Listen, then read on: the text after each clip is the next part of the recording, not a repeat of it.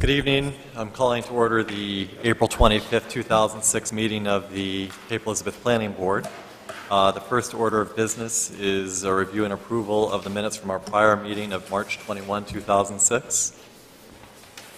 Are there any comments on those minutes? Do I have a motion? Barbara? So moved.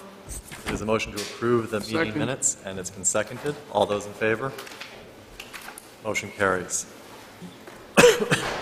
Correspondence before us tonight include the Town Council conditional municipal acceptance regarding Spurwink Woods, a memorandum from the Public Works Director regarding Spurwink Woods, a letter from the Town Attorney regarding Spurwink Woods, a memo from the Town Manager regarding regarding the Jordan subdivision, a letter from T. Egan regarding the Elliott Private Accessway, a letter from C. Beniotis regarding the Elliott Private Accessway, uh, the addition of zoning practice dated March of 2006. Uh, In addition, we have been presented tonight with a letter dated April 20th, 2006, from Paul Katsas at 33 Columbus Road, and and attached to that, a signed petition regarding Spurwink Woods. Uh, And we have also been receiving, over the last uh, few weeks since the last meeting of the planning board, uh, several emails and letters, and they're all part of the public record. If you want to ensure that your email has made its way into the public record, you're you're welcome to follow up with the town planner. Each member of the planning board does receive those emails directly. If you send them to the town planner, we all get them, and we all review them. Uh, We had suggested, or there had been a suggestion prior to tonight's meeting that we take business out of order as we con- anticipate that discussion of the Jordan subdivision might be uh, briefer, since we're, uh, it's a more limited issue than the Spurwink Wood subdivision. So is there a motion for the board to consider on that, David? I move that you, uh, that we review the Jordan subdivision first. Is there a second? second? Any further discussion? All those in favor? All right, before we get to that item on the agenda, I do want to uh, express my appreciation to the zoning board, which was kind enough to switch evenings with us, so we could have the room tonight uh, to ensure that we had a full attendance by all of the members of our planning board. Um, So without further ado, I would uh, turn to new business, the Jordan subdivision. Uh, The Jordan family heirs are requesting minor subdivision review of a three-lot subdivision proposed off of Deer Run Road.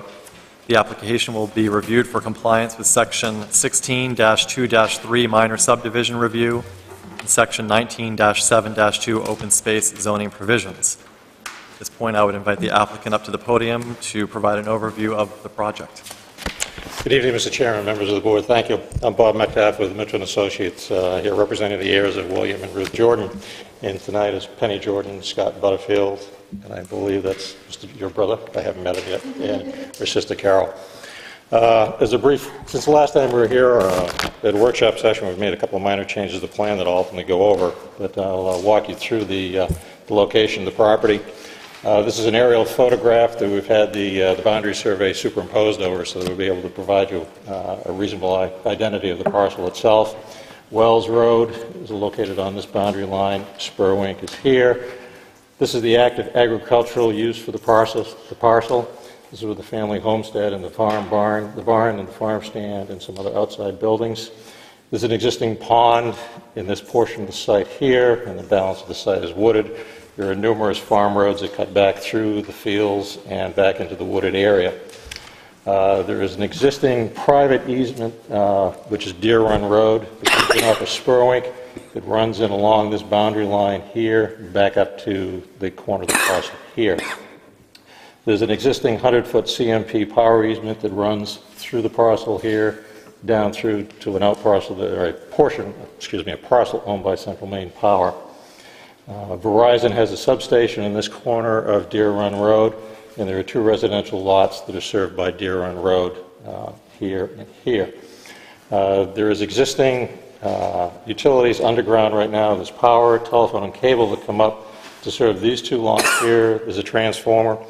Uh, Verizon has indicated that they have lines up here, but would need just to run a new service line around to serve the proposed lots at the rear. Power is fine, cable television is fine, It's an existing eight-inch uh, water main. There is a fire hydrant that was installed, and that's roughly in this location back in here. Um, Abutting the property, you have Leighton Farms subdivision over here, and then a portion lot, oh, abut- the- excuse me, abutting here is uh, town open space. The proposal before you is for a three-lot subdivision using your open space uh, provisions. Uh, The parcel, total parcel is 73.8 plus acres, uh, of which uh, we're proposing to take 5.72 acres to create the three-lot subdivision.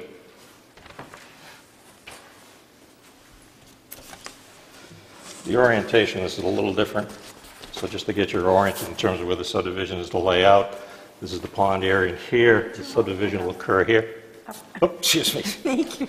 All right, I'll just bring it back around. Spurwink Ave is here, this is Deer Run Road that comes up presently now and stops at about this location. Um, What we're proposing to do is to expand the 30-foot wide easement, access easement for Deer Run, and change that to a 50-foot wide right-of-way. Proposing a new 50-foot wide right-of-way to provide frontage for the three proposed lots.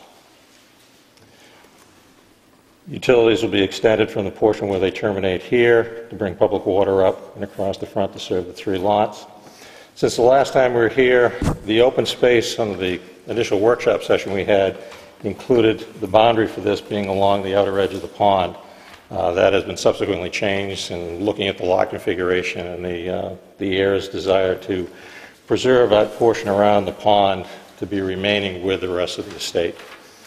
Uh, So the outline for the open space follows along this boundary line here. This is the line along with the town's open space and Leighton Farm. And the boundary line comes along this corner here, cuts across the CMP power easement that's located here. We've gone through the density calculations uh, to determine the number of lots. And based on the standards using the open space, uh, the minimum lot required is a 30,000 square foot lot. The uh, proposed lot average is 29,460. The minimum open space requirement based on 40% open space is 2.3, 3.69 acres, or 65% of the lot is being preserved as open space. Of your usable open space, which requires 33%, of the uh, 2.3 is a requirement of .77 acres, and 2.97 acres of the open space is being preserved, or a total of 80% of usable open space. Uh, The open space will be retained by the heirs. It will not be owned by the actual lots individually or shared under an ownership by the, the the three lots, which will be the grandchildren. The 50-foot wide right-of-way for Deer Run and for the proposed new right-of-way will also be retained by the family. The last time we were before the board, as far as the workshop was concerned, because we had waivers, which I'll get into, there was concern uh, in terms of the right-of-way and who was going to maintain that right-of-way, where we'd requested waivers not to make any improvements on Deer Run at this point, and to uh, ask for a reduction of wa- uh, standards on uh, the proposed new road. So those sections of the property will be maintained and retained as ownership by the heirs, including that portion of the open space. Uh, In the application, uh, the new roadway was identified as Pond Hockey Way. Uh, There was some miscommunications. We had talked to Chief Williams, and we thought he said yes to Pond Hockey Way. He thought we said Hockey Pond Way. So we have, at this point, the uh, the applicant is going to change it to Hockey Pond Way. However, we would like to reserve the ability, if they want to think about it a little more, we may want to change it, but right now, it'd be Hockey Pond Way, and Chief Williams was fine with that in terms of that name. So I just wanted to clarify that. Uh, We had requested several waivers, uh, and I can go through those again, and then uh, if you'd like, I'll go through some of the staff comments and our responses to some of the staff comments.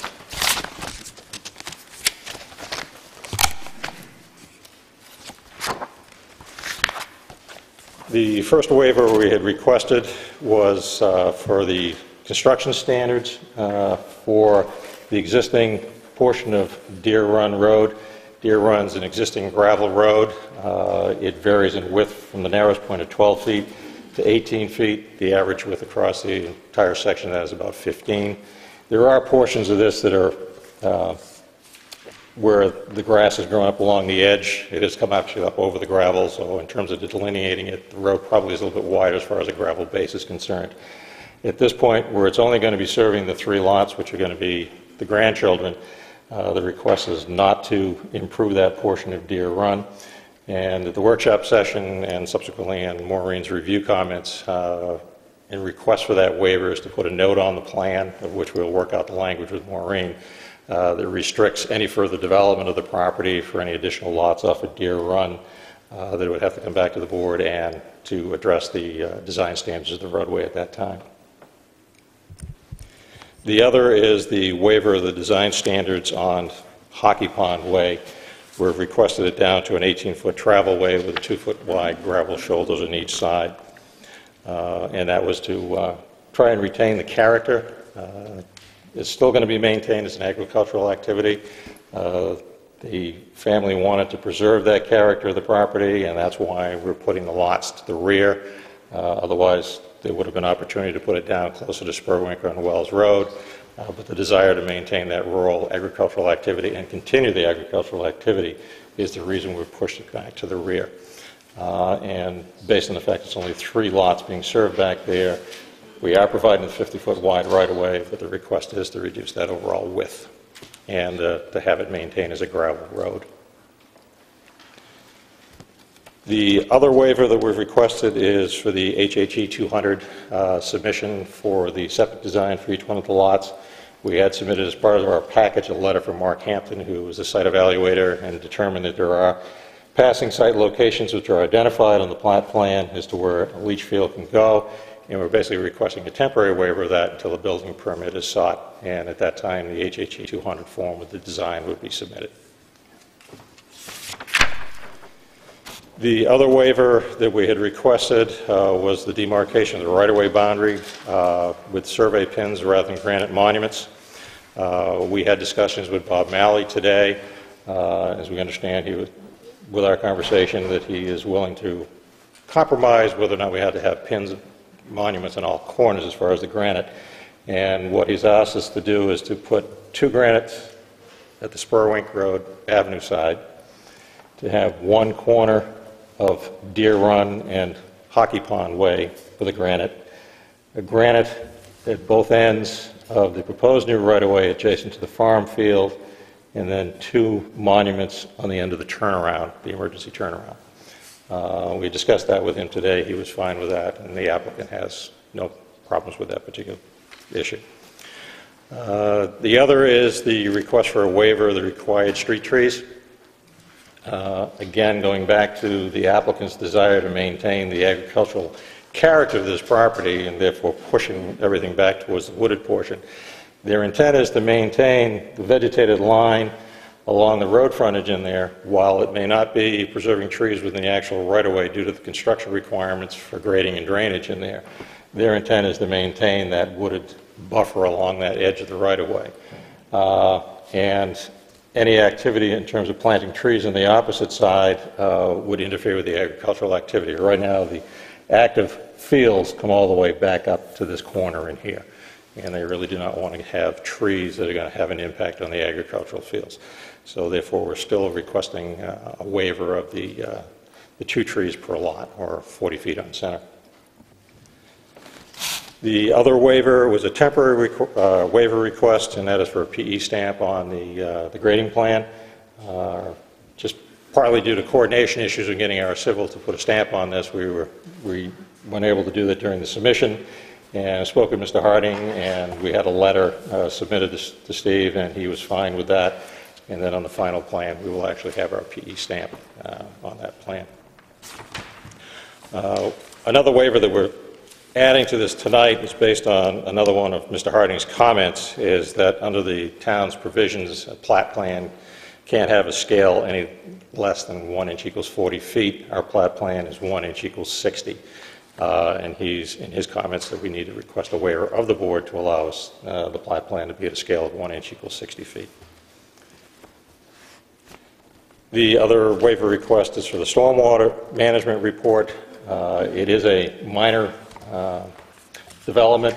Uh, The stormwater, pretty much right now, the existing farm road that goes through here, everything sheet flows back down towards the fields. Uh, The proposed grading will help to control that flow and direct it so it's not being concentrated in any one location along the road, the uh, the farm fields. It'll be dispersed down into a riprap area with a plunge pool that will then dissipate out over the, uh, this vegetated corner of the farm field. Uh, Those are the waiver requests. Uh, If you'd like, I can go and try and respond to some of staff comments uh, that were reviewed if you'd like to at this point. Does that seem acceptable to the board at this point? Sure. Okay. Uh, In Maureen's letter, uh, again, it goes back to the street trees. Uh, We're still, as I said, requesting a waiver of that requirement. We'd really like the board to entertain that. Uh, As I said, again, maintaining as much of the vegetation on the lots themselves are going to provide that character in terms of maintaining a vegetated line along the street. Uh, It's not a case where you're going to wind up clear cutting that frontage along there and then therefore not having any visible buffer uh, to the new home sites. The other comment, comment number two on Deer Run Road, um, again, that was our waiver, and the note, uh, in terms of any future development on Deer Run, we have no issue with that, and we were going to put a note together, and I wanted to wait till we met with the board first, and then we will work out the language with Maureen to have the actual specifics put onto the plan. I guess the reduction in width, that is, uh, in terms of the road, is an issue that we need to discuss with the board. The other is the monumentation from Public Works Director, of which I have gone over.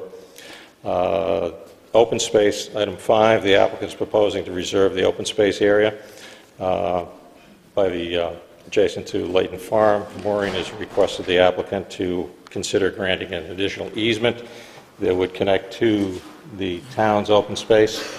Uh, We've discussed this with the applicant, and the concern is this property is still going to be maintained as an active agricultural use, and with that, uh, granting public access over this parcel is a liability issue that they're very concerned with, and at this point do not feel as though they're willing to entertain providing a public access easement over this portion of the property. There were a couple of comments in Mr. Harding's that uh, I'll briefly touch on. Uh, One was the uh, requirement for the first 50 feet of roadway on Deer Run to be paved. Uh, I think it may have been some misunderstanding on my behalf during the workshop session, because I'd indicated we would do 50, and then I was told that it had been reduced, so it was probably my misunderstanding. Uh, But the first 50 feet will be paved on uh, Spurwink Ave. One of Mr. Harding's additional comments is to evaluate the existing culvert that runs under Deer Run uh, within the right-of-way of Spurwink Ave, and we will take a look at that, and if it's warranted, replace it at the time when the, uh, that section of the roadway is going to be repaved. Note number 16 on the boundary survey. Um, There was an issue when the boundary was originally done that the Kennedy property down here, there were actually three different deed descriptions, and there was a crossover of boundary lines, and we have taken care of that. Uh, There's a quitclaim deed between the heirs and the Kennedy family. Uh, That has been corrected. That note should have been corrected on the survey plan, and that will be done. And a copy of the quitclaim deed actually was submitted with our original application. Um, There were a couple of the housekeeping items that uh, Steve wanted to see on there in terms of some of the uh, the road radii added to the plan, uh, discussions of putting a plunge pool at the end of uh, the outfall for the drainage. He made reference to the police chief in terms of whether or not stop signs would be required. We did have a discussion with Chief Williams today, in addition to the road uh, name, he's asked that we put a stop sign at Spurwink Ave and Deer Run, and he's also requesting that we put one at the intersection between Deer Run and Hockey Pond Way. And that will be taken care of. Uh, There are a couple of the minor, again, uh, the size of the riprap and the outlet, we'll handle that on the the subsequent drawings. And then the, uh, the detail for the pavement section at Spurwink, we'll add that to the plans. And then there were some questions in terms of the budget uh, estimates for the improvements, and those items that are in that uh, comment, we will take care of, and we'll revise that accordingly and resubmit that for uh, Maureen and staff review. And I think with that, that's an overview of what the the applicant is proposing, and uh, happy to answer any questions. Okay, thank you. Uh, The first issue for the board to determine is completeness. Uh, And I invite any comments on that issue at this time. Perhaps we could deal with that by motion. Any issues on completeness? I, I had a question about the code, there was a number nine on Tom, on Steve's memo, said something about the code enforcement officer should comment on the HHH, HHE 200 forms. Did he ever comment on that? No, he didn't, but he's, he's used to getting them as part of the building permit application. My guess is he would have no objection to them being submitted at a later date. Just to follow on that point, although I don't think it relates to completeness, Maureen, as I understand it, the requirement of having it at the time of the application and the approval is so that we know that in fact you can put one on the lot, rather than, I have no trouble deferring it till the building permit's issued, but I just, is there anything the applicant can let us know, and maybe this is more to the merits of the application than completeness, about, uh, you know, a preliminary view on whether we're going to have any problems putting them on the lot? There is a letter in our application from our site evaluator that he has gone on, and as I said, he's shown test pits in each one of the lots where a leach field can be Okay. installed, but the request was, and there are other areas on the lots that it can be done. In case those don't work out. Well, they would work, but it's depending on where the family decides to put the home. Sure. So there's some flexibility, therefore, that's why the request is when they decide what they're going to build for home, and when they go for the, the building permit, at that time, that application would be submitted. Sure.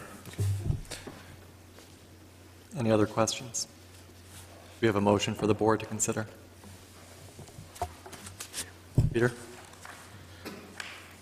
I have a motion to the board for, to consider. I move that based on the plans and materials submitted and the facts presented, the application of the Jordan family heirs for minor subdivision review of the three-lot Jordan Farm subdivision located off Deer Run Road be deemed complete. A motion has been made and seconded. Any further discussion? All those in favor? Motion carries unanimously. Uh, Another issue for us to determine is whether a site walk uh, should be scheduled. Any thoughts on that? I think we should. Yeah, I, I would concur. Okay, I I agree with that, Jack. Uh, Anybody disagree, or? Okay. I think we should uh, plan on a site walk then. Okay. Uh, We typically do these on Saturday mornings, first thing, with it being Little League season, maybe uh, at 8 o'clock. Should be all right? Shouldn't- Shouldn't take too long. Yeah. David? With the uh, light coming in in the evening later, is a possibility to do it like after 5 o'clock? And I I don't have a problem with Saturday, but I'm just throwing this out as a suggestion. No, I, I think that's well taken this time, this time of year. What do you think? Sure. What what what are people's preferences? Not Does the Friday. applicant care? Not Friday? Not Tuesday. Gen- I know I'm generally free on Saturday mornings at 8. Um, Saturday morning. E- Okay. Yeah, either way. Okay. What Sat, what, what upcoming Saturdays would work? This Saturday is the 29th. Would that work for the applicant? That works. What about the rest of the board? Opening day, but we'll, we'll need to be out of there. Well, why don't we It's not that big a walk. No, I understand. I'm relatively familiar with it, but we're going to do it at eight. Hopefully we'll, sh- 8 o'clock Saturday, I can do it earlier if you want. no, that's, No. I did, I I did one with my own planning board last week at 6:30 for one of my board members, so he'd get to work. I'll never do that again. No. so it would be Saturday, April 29th, April 29th at 8 a.m., and we will meet at the end of Deer Run Road, is That's that? probably the best place to meet. Yeah. And when we say end, we The mean... furthest end in from Spurwink up closer to Witham. All right, great. Uh, And I assume we'll need to schedule a public hearing on this application as well? And that would be, Maureen, when? The Depends on whether they get their, 16? May 16th? Okay. When would they, do they need to get their submission in? Nope. They're ready to go, okay. Okay, May 16th. okay.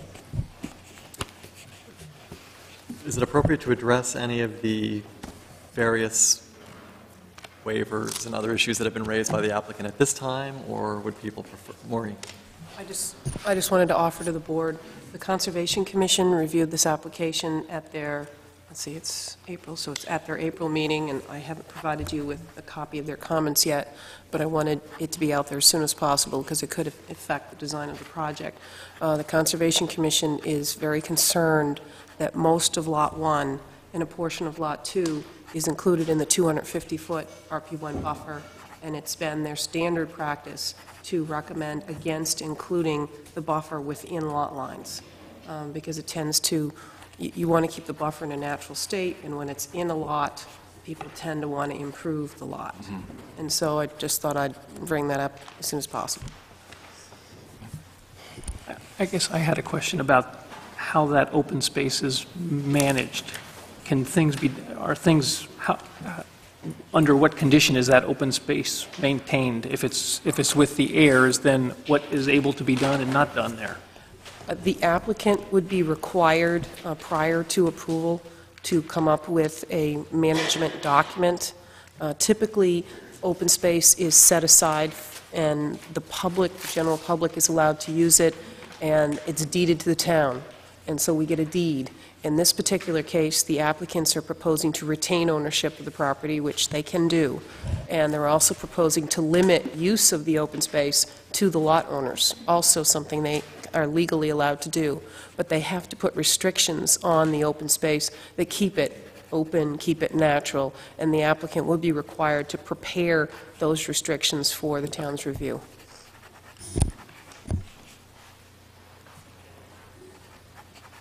Do any of our materials indicate where the 250-foot setback falls within the proposed lots 1, 2, and 3? Yes, it's on the uh, sheet three of the plot plan, Which I have it right open to, okay? and it shows the setback, the 250 foot, Okay. falls right along here. So it's this portion of Lot 1 and this sliver on Lot 2. Bob, is that tote road improved? I'm sorry, what? Is that tote road usable? Oh, yeah, Ms. Charter. Barbara? Am I reading this right, Bob? Is the building envelope just abuts the 250 foot? Yeah, the 250 foot becomes the outer limit of your, which would normally be like your side setback, that becomes the setback line for the building window. But this, it's that, This is the where you're buil, showing the 250 foot Right. limit, that's where the lot, the building envelope. yes, this is, the building envelope would be this portion, That's, that's what I, like that. Okay. Has the applicant given any thought to amending the plans to not include the setback area within Lot 1? No, We're talking, maybe that's a triple negative by now. Okay. Any board members care to comment on that issue? Not at this point, but, Okay, I mean, it's, it's out there, okay. but I, I don't have enough information Yeah. to. I guess in terms of We'll take a discussion. look at that at the site walk. Yeah. One of the issues in terms of trying to reconfigure that, to take that out of that setback area, is it pushes the property further in this direction underneath the CMP easement. You can't construct anything within the CMP easement. CMP has restrictions in terms of what can occur. So in order to get the frontage and the developable portion of a lot, this configuration pretty much is set. Not much Maureen, will we- flexibility. Excuse me. Will we get that, those comments before the site walk? Absolutely. Okay. And I assume I can have a fax copy of those, Maureen? Absolutely. Thank you. I'd like to make a suggestion that we withhold further discussion and comment on the application public- until we've had the site walk and the public hearing. We have another agenda item that's going to require a great deal of time, and uh, does anybody oppose that idea? All right, then do we have a motion for the board to consider? Peter?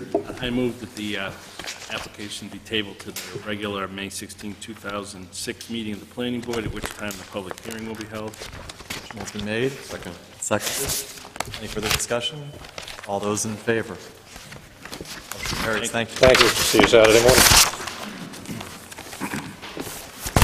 Would you send us a friendly email reminder about the site walk? Sure. Yes.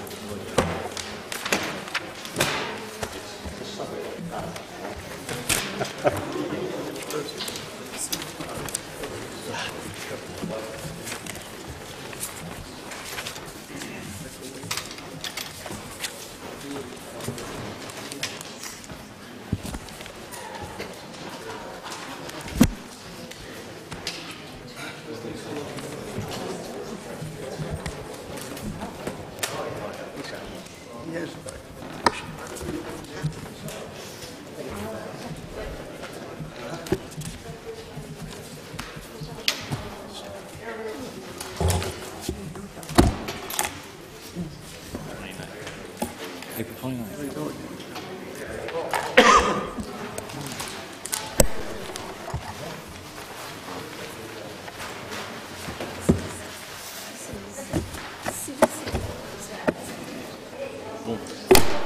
Which one?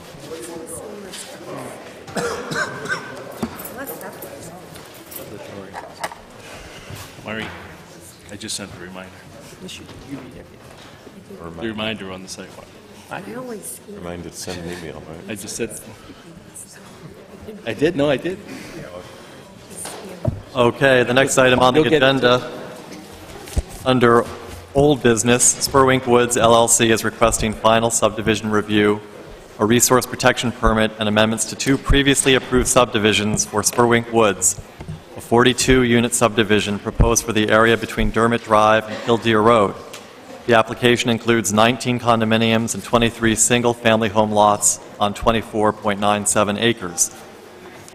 The application will be reviewed for compliance with Section 16-2-4 subdivision regulations, Section 16-2-5 amendments to previously approved subdivisions, and Section 19-8-3 resource protection regulations. This point, I would ask the applicant to come forward and summarize any changes to the project since our last meeting. Okay, thank you. My name is John Mitchell, Mitchell Associates, and I represent Spurwink Woods LLC. Um, What I would like to do, before I go into the plan changes, as I've done in the past, I would like to uh, use the booklet um, as a format for our presentation and just go through this uh, briefly. As you know, we received preliminary uh, subdivision approval on February 27th, uh, as well as a resource protection permit uh, preliminary approval, with the following conditions. Number one, that the extension of South Street to the common property line with the Maxwell property, this area right here, uh, be deleted if the town council does not adopt the bisect- bisected lot amendment. And number two, that the applicant hold a uh, meeting with the residents of the abutting neighborhoods to obtain their input regarding the traffic calming measures. On March 13th, uh, the council adopted the bisected lot amendment.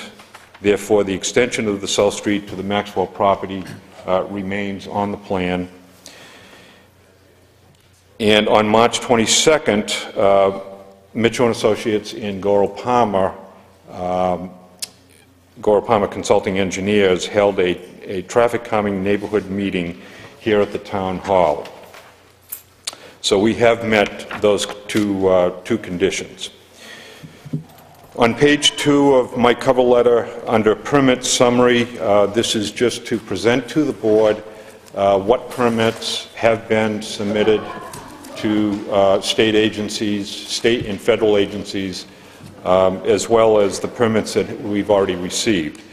Uh, We have, uh, there is a total of four permits that have been submitted. First, the stormwater law permit, which was originally submitted in October 28 of 28.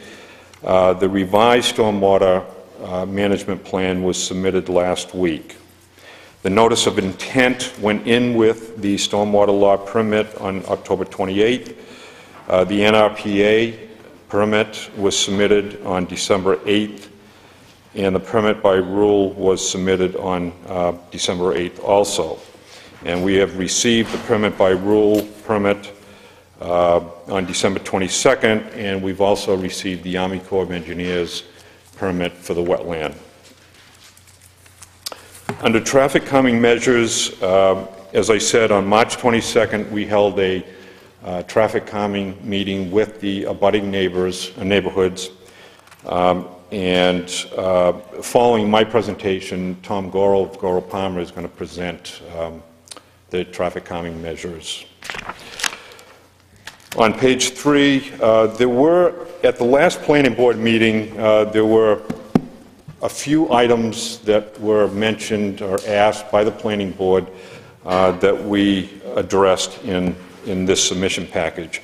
The first was the shared driveways uh, for uh, these lots up here for two, three, four, and five have been shown on the plan. Uh, They are also incorporated in the legal documents as part of this application. Uh, A note has been added to the plans. This was requested by one of the board members uh, to expand on the note number four of sheets two and five regarding Franklin Circle. In that note, uh, the added uh, language to that note includes, should the proposed alignment be inadequate, the contractor shall build Franklin Circle to standards required by the Public Works Director. If you remember, this is a waiver that we're requesting uh, for Franklin Circle. And uh, Mr. Godfrey asked us to review the driveway location for Lot 13. Uh, We have done that, and that is located right here. Uh, We have reviewed uh, the driveway location for that lot, and there is adequate space uh, to provide that driveway. The following paragraph, uh, under amended subdivision plans, uh, we continue to include uh, our, the two amended subdivision plans in our final submission package. Uh, This is for the South Portland Estates subdivision uh, and the Mitchell Highlands subdivision. And um, we require, or this, this, these amendments are required because we're adding land, uh, we're taking away land from those two subdivisions and adding land to the Spurwink Woods subdivision. So those two abutting subdivisions uh, have to be amended. And those plans can be found under uh, Exhibit 10 of this booklet. We are, uh, at this time, Spurwink Woods is uh, anticipating to, to be developed in three phases, and I've outlined the three phases uh, on this plan here, and this is also included in your packet. Um, Phase one, um, which is outlined in red, which will include the open space, um, and South Street, Lots 1 through 13 will be included in Phase 1, as well as all of the open space will be deeded to the town at that time. Phase 2 includes Franklin Circle, this area right here, which includes lots 14 through 23. And Phase 3 includes the the remainder of South Street and the development of uh, the condominium project.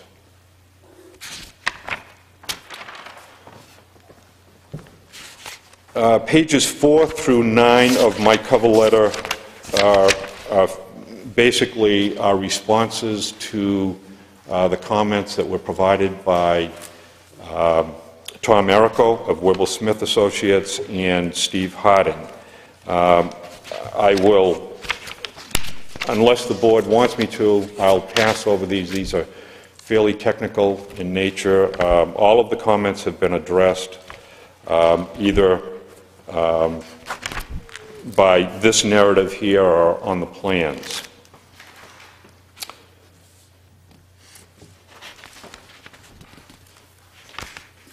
Under the submission, on page nine, the submission items, uh, very briefly, uh, section one includes the uh, conditional municipal approval that we received from the town council on March 29th, and this is for the uh, for the public roads, for the open space, and for the easements of the- of this, of this development.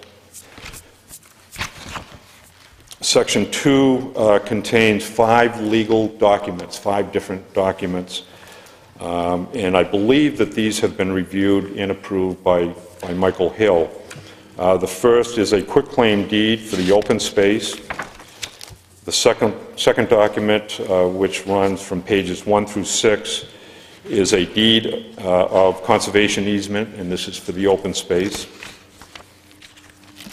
The third item uh, runs from pages 1 through 7, and this is the declaration of easements, restrictions, and covenants for Spurwink Woods, and that would be for the single-family home lots.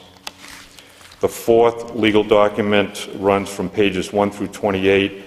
This is the declaration of condominium the- uh, for the cottages of the Cape.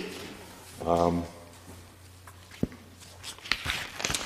And then the last legal document are written descriptions, deed descriptions, uh, the the metes and bounds for the roads, the right-of-ways, and the open space.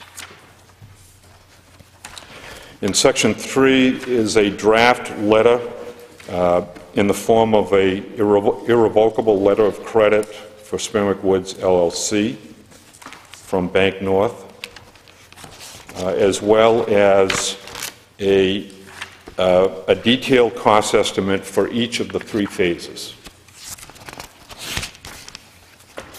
Under Section 4, uh, we have submitted uh, our final plans to the Portland Water District. They sent back their comments. We've revised our plans and sent them back to the Portland Water District, and we're waiting for their final uh, sign-off on the water design. Uh, But we've also included the letter uh, from the Portland Water District indicating uh, capacity, adequate capacity. Under Section 5 is a memo from Bob Malley uh, regarding acceptance of our sanitary sewer system. Section 6 is a copy of the uh, Army Corps of Engineers approval for the wetland fill. Under Section 7, um, this, this, uh, this section is, uh, has to do with the traffic calming neighborhood meeting that we had on March 22nd. Um, And there are several exhibits within this section, um, and I'm going to let Tom Gorrill, um, in his presentation, review those. Uh, Section 8 is a letter from uh, Gorrill Palmer Consulting Engineers regarding the traffic calming uh, meeting. And under Section 9 is a, uh, I'm going to let Tom review this also, but this is a graphic that we included for the Columbus Kildare Road neighborhood uh, that shows some proposed traffic calming measures. And the last section, uh, two uh, reduced copies of the uh, abutting neighborhoods that include the uh, amended subdivision plans.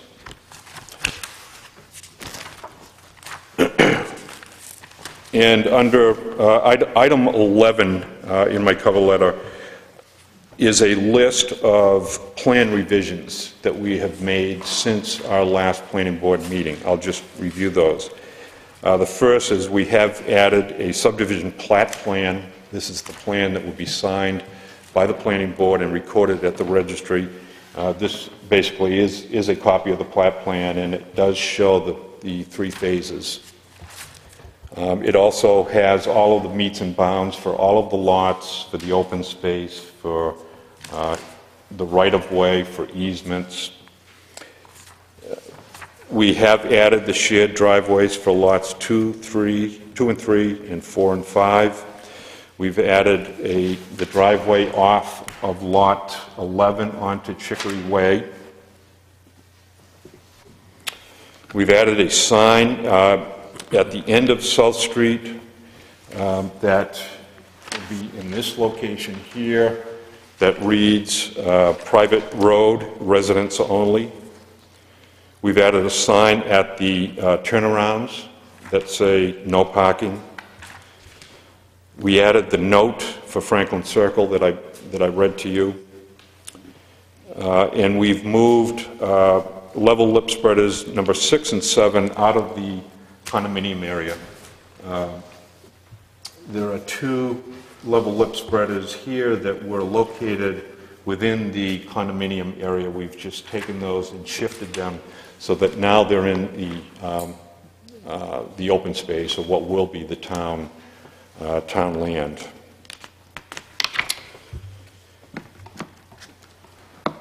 Uh, Let's see, at this point, I'm going to ask Tom to, uh, to present uh, the traffic issues, and then I'm going to return for some final notes.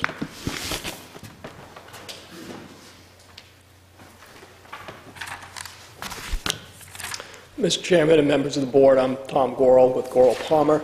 And as John said, um, at your meeting on February 27th, when you gave preliminary approval, one of your conditions was that the applicant meet with the neighborhood um, to gain their input on traffic calming and what they would like to see potentially in their neighborhood. And that meeting did take place um, on March 22nd, as John said, and was attained, uh, was attended by approximately 31 people, uh, plus the applicant, uh, John, and myself.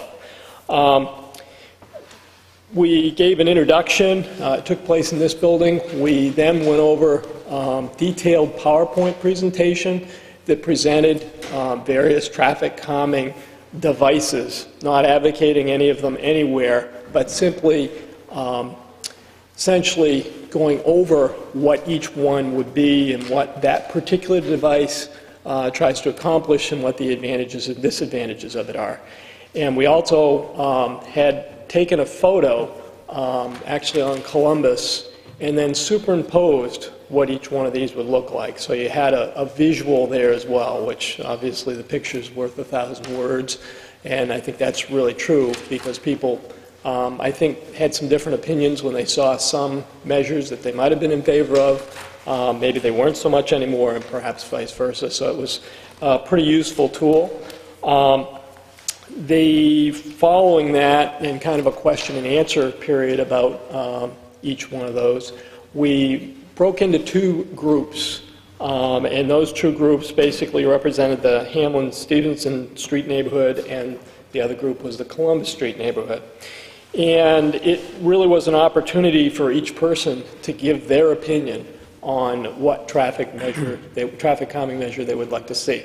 And we started with, uh, you know, and went around the room with each person uh, for three, four minutes each. So everyone that was there uh, spoke about what their preference was. And we asked them to order their preference so that when they spoke, they would um, give their first, second, third, and fourth choice and explain uh, why.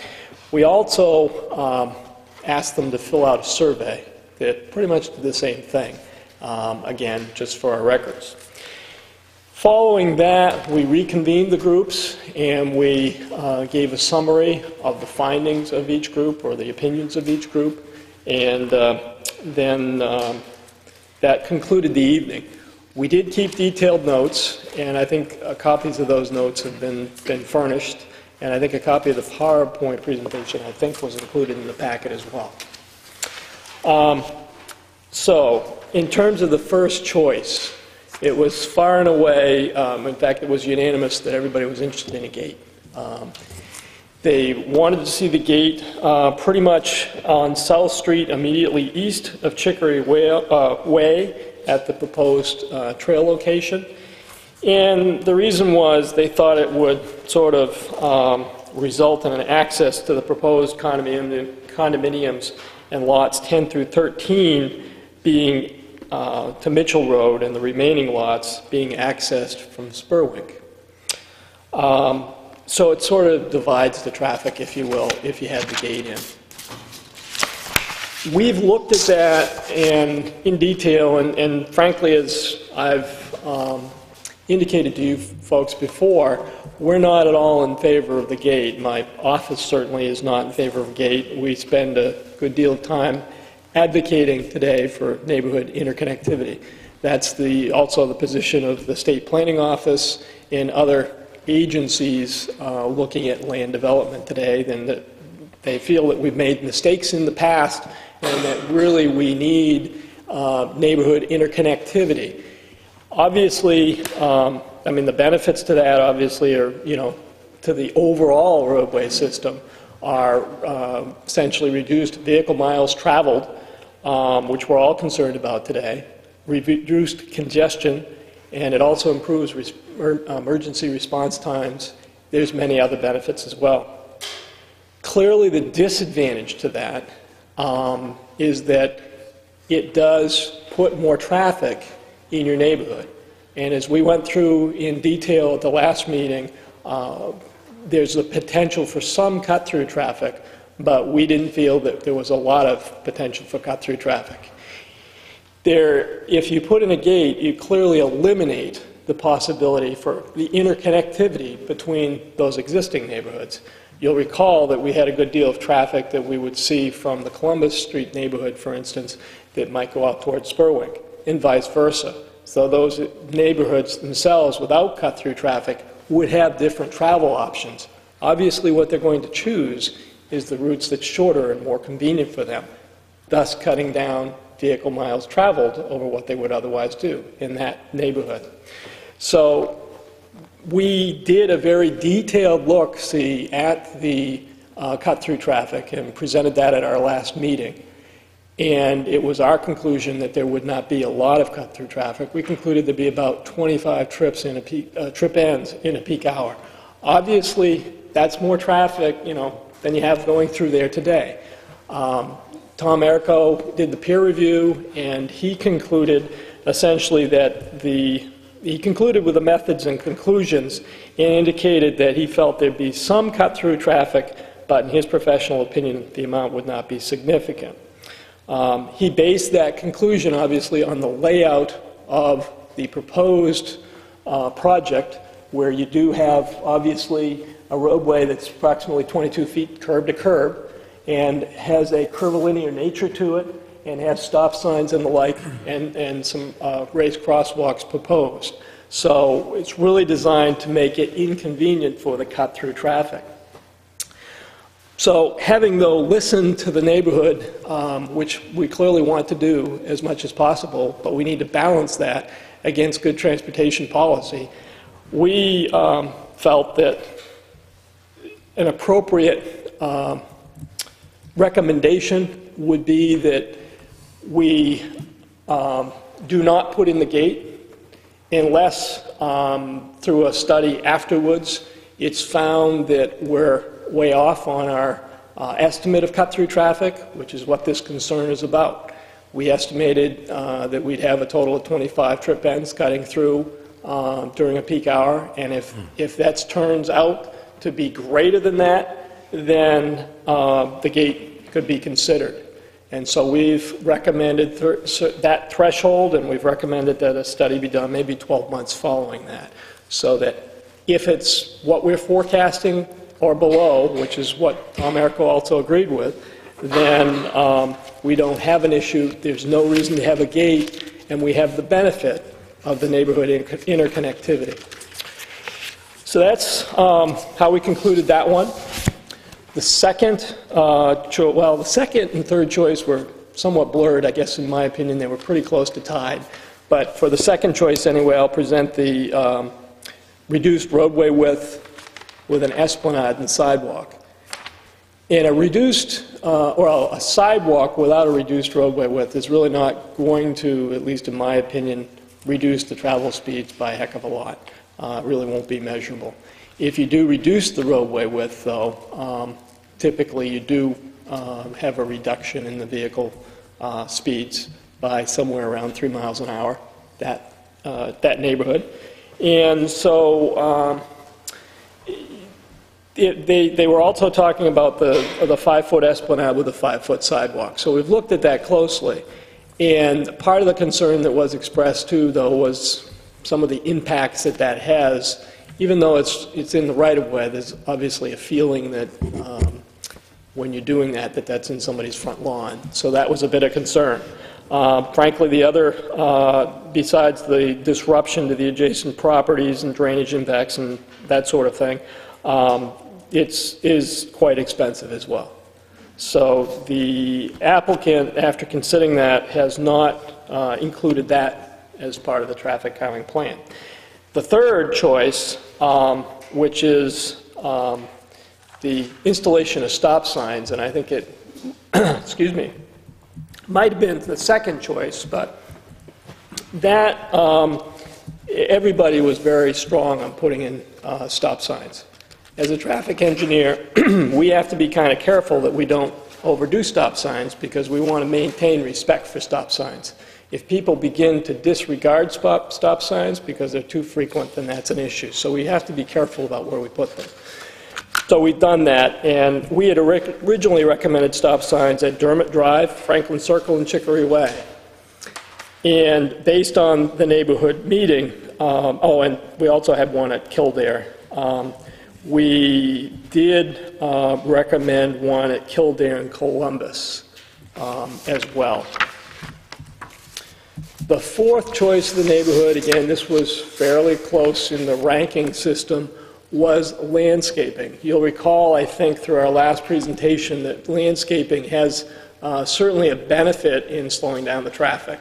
Um, Sort of creates side friction, if you will. People understand the neighborhood, and it's just having things closed in a little bit more on you, you tend to slow down.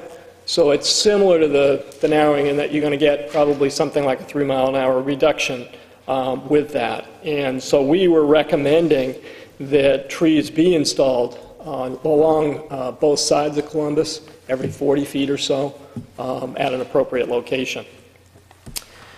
That was the top four choices. There were some other uh, traffic calming measures that were discussed, um, and they did not support speed bumps, didn't support speed tables within those existing neighborhoods.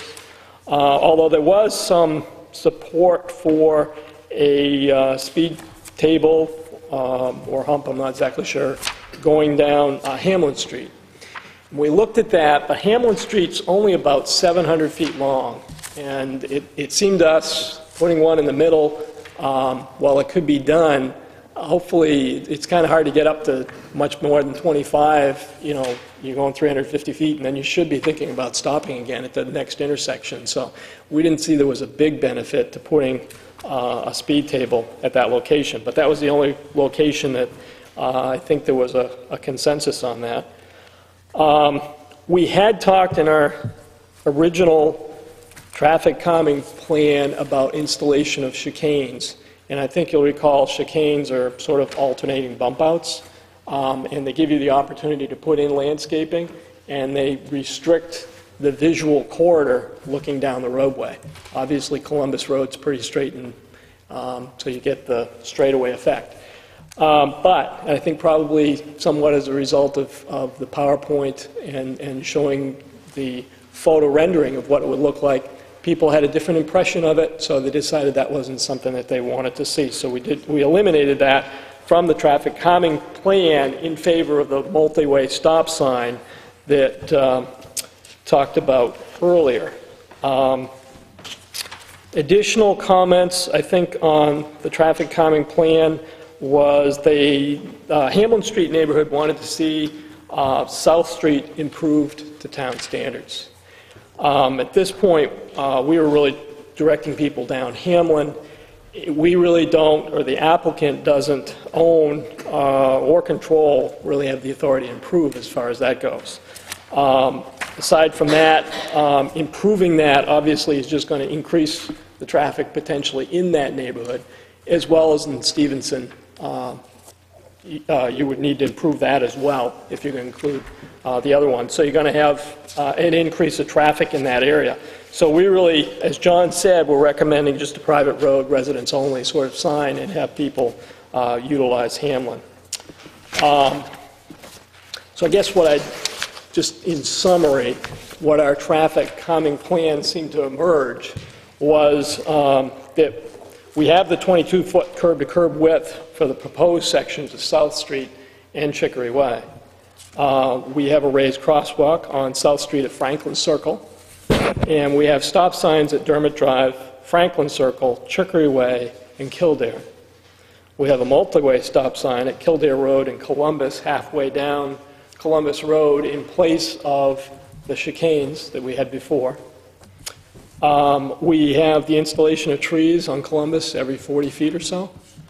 We have um, also, again, recommended that a cut-through study be done um, about 12 months after completion of an occupancy of about 75% of the project, so that we can uh, monitor to make sure that the cut-through traffic doesn't exceed what we were estimating. And if it did, then we would look at the uh, gate, which uh, the neighborhood was advocating. So with that, I'll turn that back to John. Thank you.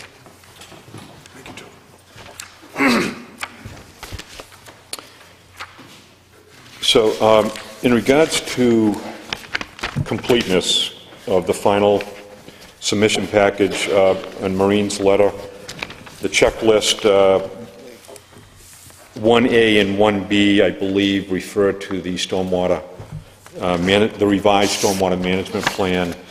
And uh, we have, and I believe you have in your packet, a letter from Steve Harding indicating that he has received the revised stormwater plans and that they are complete.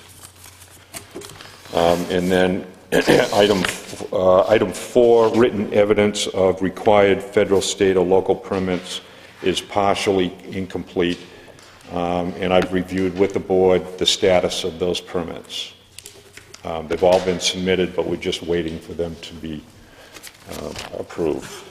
And finally, uh, Steve Harding's letter, which was attached to Maureen's memo, uh, we basically have, uh, since we received this letter, we have gone down and addressed, uh, both our firm and Gorrill Palmer has addressed each one of these items, and uh, the plans have been changed, revised, and they're, they will all be uh, included on the next revised set of plans that we're going to submit on Friday. Okay, thank you. Thank you. At this point, the first issue for the board to consider is that of completeness. Are there any questions or concerns in that regard?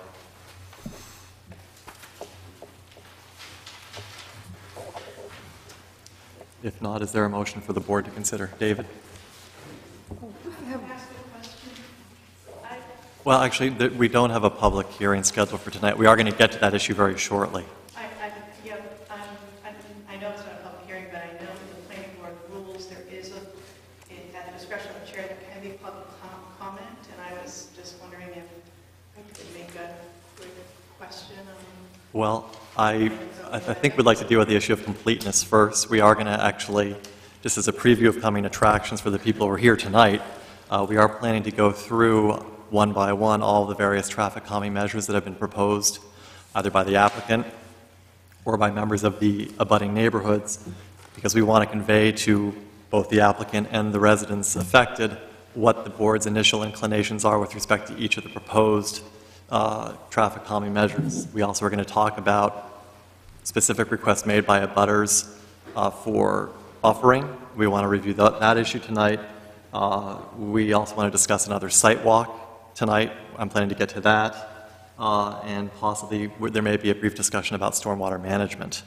Um, So I- And there was just a couple of additional things, I just, it was just a quick question to, Uh, Let me, let me, uh, I I don't want to be the only one to speak to this issue, so uh, let me ask other members of the board their thoughts The on it. chair thinks it's okay, I have, I have no trouble with I the don't- question. I just don't want to open up a general discussion, that's my, Okay, The, the only concern I have is if I allow uh, Right. Ms. Fernald uh, to speak, then I'm going to hear from the other 12 people, well, how come she got to speak and I didn't get to speak? And we ran into that issue, I'm afraid, at another public hearing where we allowed a member, uh, I believe, of the town council to speak, and other members of those neighborhoods became extremely upset that they were ne- then not given an opportunity to speak. So my inclination is to not go there.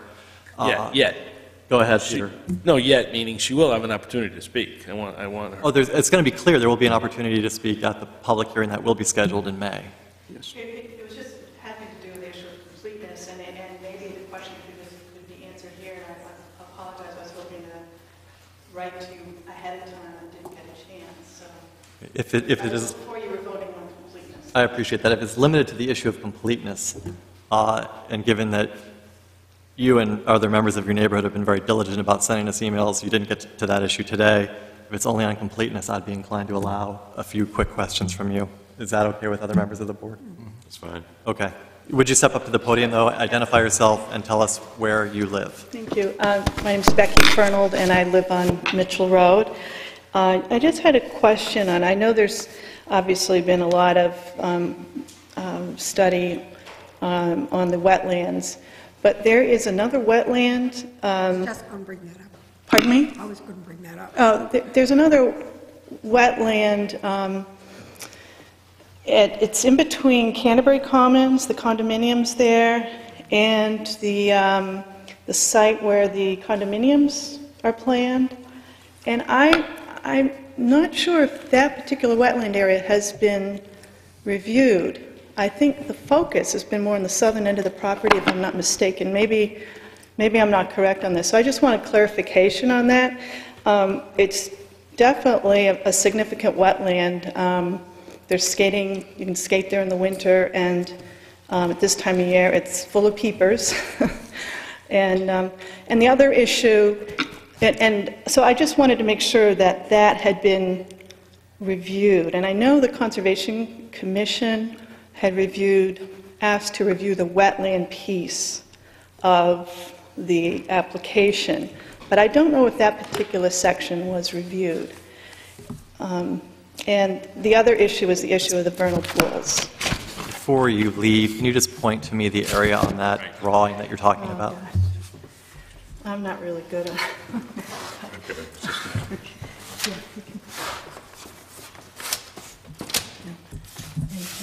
The condos are...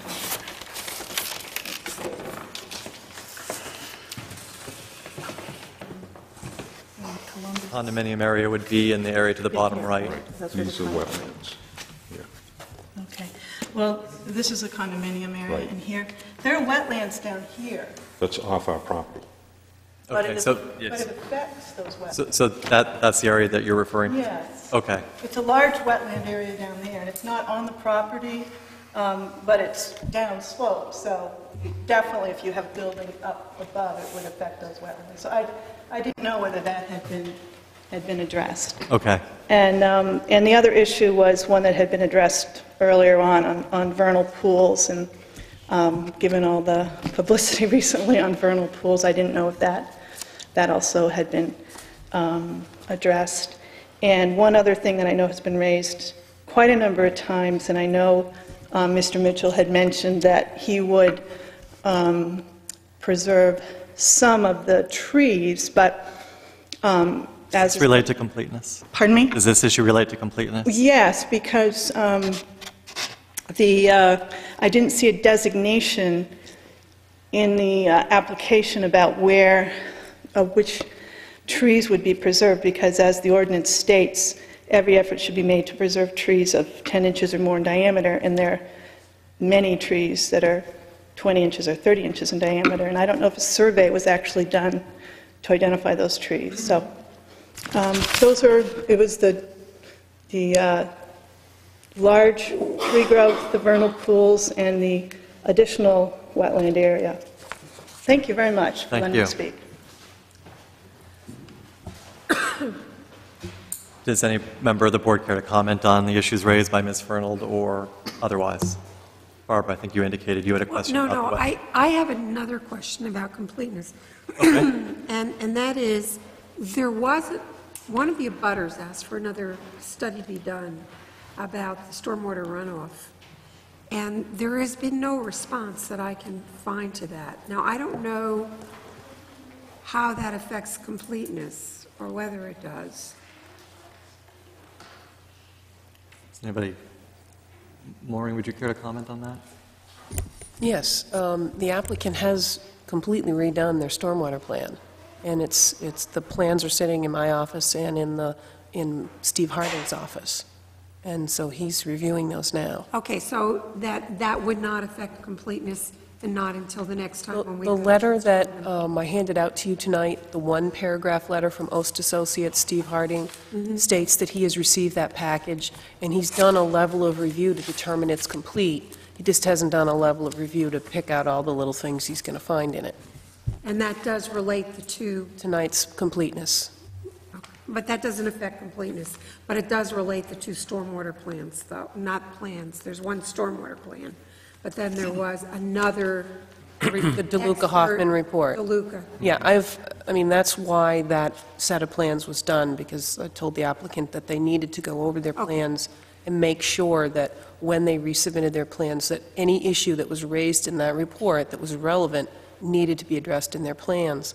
I've also forwarded a copy of the DeLuca Hoffman letter to Steve Harding and asked him to review the applicant's stormwater plans for all of those issues identified in the DeLuca Hoffman report.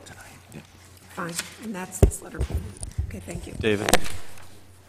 Regarding the uh, trees, I think we will be addressing that at a later time, Uh, but I don't think that completely, I don't think that affects the completeness at this point. Uh, And It's one of the things that we look at on site walks. And other board members of the town planner can correct me if I'm wrong, but my understanding of completeness is that we are ensuring that all the parts of the application are before us, as opposed to whether or not we agree with what's in them, and that we are inclined to approve of them. So when we say the application is complete, all we're doing is allowing it to go on to the public hearing stage, at which time we can review the merits.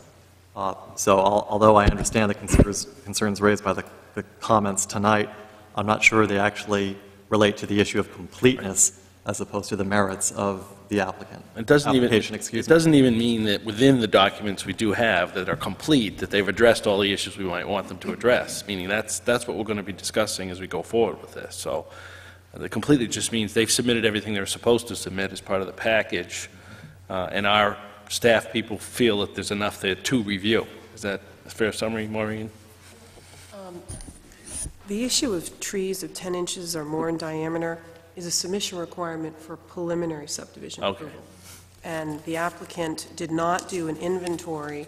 What they did is identified entire areas where they said all the trees in that area would be preserved, and outside of that area, trees would not be preserved. I see. And the planning board has previously accepted that, that presentation. Um, In the package you have tonight, on page, the fourth page, is actually the checklist for final subdivision completeness. And those are the types, those are the issues that you are voting on for completeness for tonight's meeting. And you can see that there's no trees there. And and my recollection, again, and maybe the applicant will correct me if I'm wrong, is that although they would make every effort to preserve existing trees in the area that would be built upon, there could be no guarantees made, uh, given what's involved with construction of homes, but I do recall a discussion about the open space, that every tree within that open space would be preserved. Is that fair to say? Okay. Any further discussion on the issue of completeness? Motion, David, sure. motion for the board to consider, motion for completeness, be it ordered that based on plans and materials submitted and the facts presented, the application of Spurwink Woods LLC for final subdivision review, a resource protection permit and amendments to previously approved subdivisions for Spurwink Woods, a 42-unit subdivision located between Dermot Drive and Kildare Road be deemed complete. Okay, we have a motion on completeness. Is there a second? Second. Seconded. Any further discussion? All those in favor? Opposed? Motion carries unanimously. Uh, The suggestion in the town planner's memorandum tonight was that we may want to begin some substantive discussion of the application. Uh, For a number of reasons, I think that's a good idea tonight. Uh, It it is only 8:20, uh, and I'd like to try to take some time here to go through uh, the issue of the traffic calming measures that have been raised, uh, as well as the individual requests that have been made for buffering by individual uh, residents. Uh, Tied into that, perhaps maybe another site walk And then any other issue that any member of the board feels that we can raise tonight, I'd be happy to try to address that. A reason that I want to focus on what individual members of the board think about a certain traffic calming measure is so that members of these neighborhoods will have a preview of what we're inclined to want to see in a final plan or not. If, by way of example, every member of the board favored a safety gate, that may change uh, the amount of preparation or emails or the subjects of the emails that you would need to send to us prior to the next hearing. On the other hand, if it were four to three or three to four, you'd know that there was a real issue and dispute among the board members, so you could prepare and plan accordingly. Um, With that being said, I'd, I'd like to begin with the traffic calming measures, and it, it might be most useful to use as sort of a guide here tonight the rankings or the summary that Maureen prepared, and I'm just going to see if I can find it.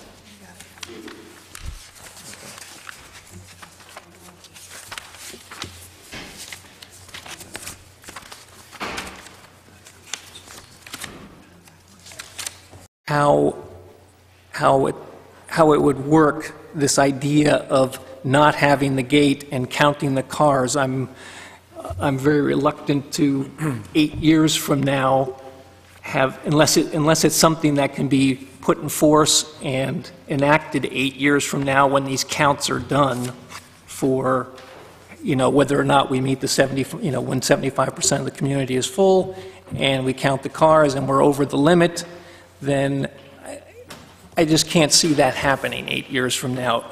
Maybe it's doable, and if it is doable, I'd like to see the, you know, the wording of how all that could be done. Because if, connectivity, I think, is a good thing, but in, in, I think it's different for every, for every neighborhood. So I think I would be inclined right now, unless there's some foolproof way to enact what Gorrill Palmer has suggested in wording, that we should consider a safety, a, a gate, even though it's against town policy and all the other things. So Okay? that's my, Anybody else? Jack?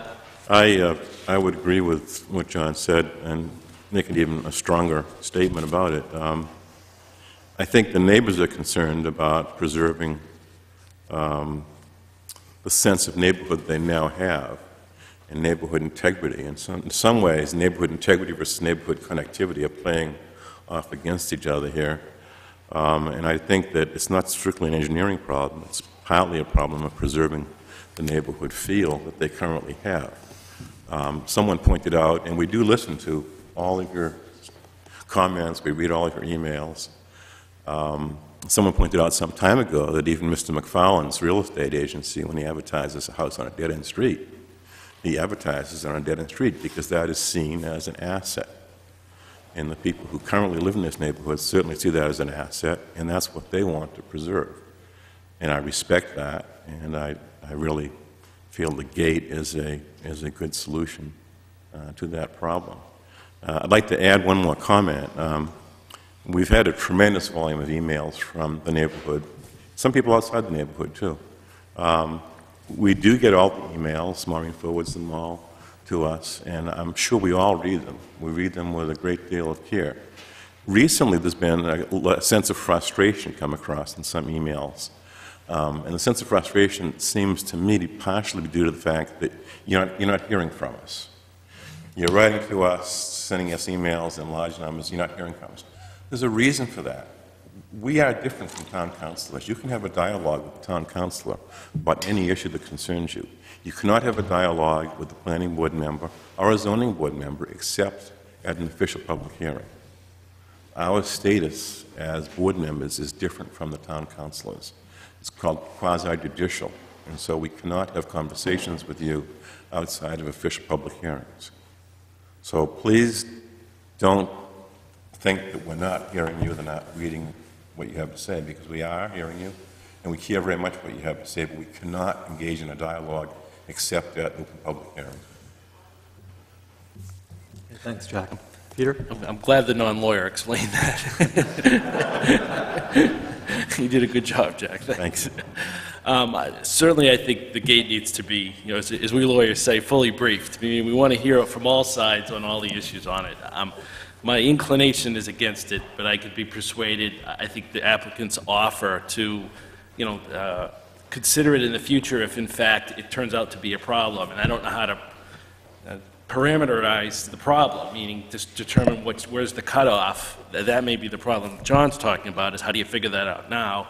Uh, But I want to hear from everybody on it. I mean, I've- as Jack said, we, we, we read all the emails, we, we, we're trying to digest a- an awful lot of issues here, and a lot, of awful lot of opinions, an awful lot of frustration, but uh, I'm, I'm not inclined to it, but I, it, I'm still very, very open-minded on one way or the other, and I, and I do appreciate the applicant's offer. So clearly, I think we need to hear from the gate, the people, both sides on the gates issue, and, and town staff in more detailed opinion about why they have issues with the gates.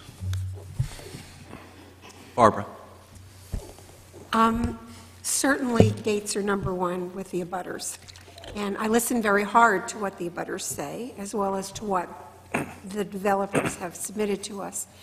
Uh, I I have a question about the gate, and that is, does putting in a gate, negate meeting the requirement about the 2,000 feet mooring? No, you can still meet it. Okay. Well, since everybody's in favor of the gate, I certainly would vote for the gate. And I think it does another thing that nobody else has mentioned. I have been very concerned, not just with Mitchell Highlands. You're much more vocal than the other side is because there are more of you, and you may just be more vocal people. Um, But the traffic on the McDer, on the Dermott Street side is going to be horrible for those people, much worse than it is for the Mitchell Highlands people. And I think that a gate would separate the amount of traffic going one way from the amount of traffic going the other way. So in my mind, in that way, it is positive. I am vehemently opposed to waiting to do anything. I think that means it would never get done.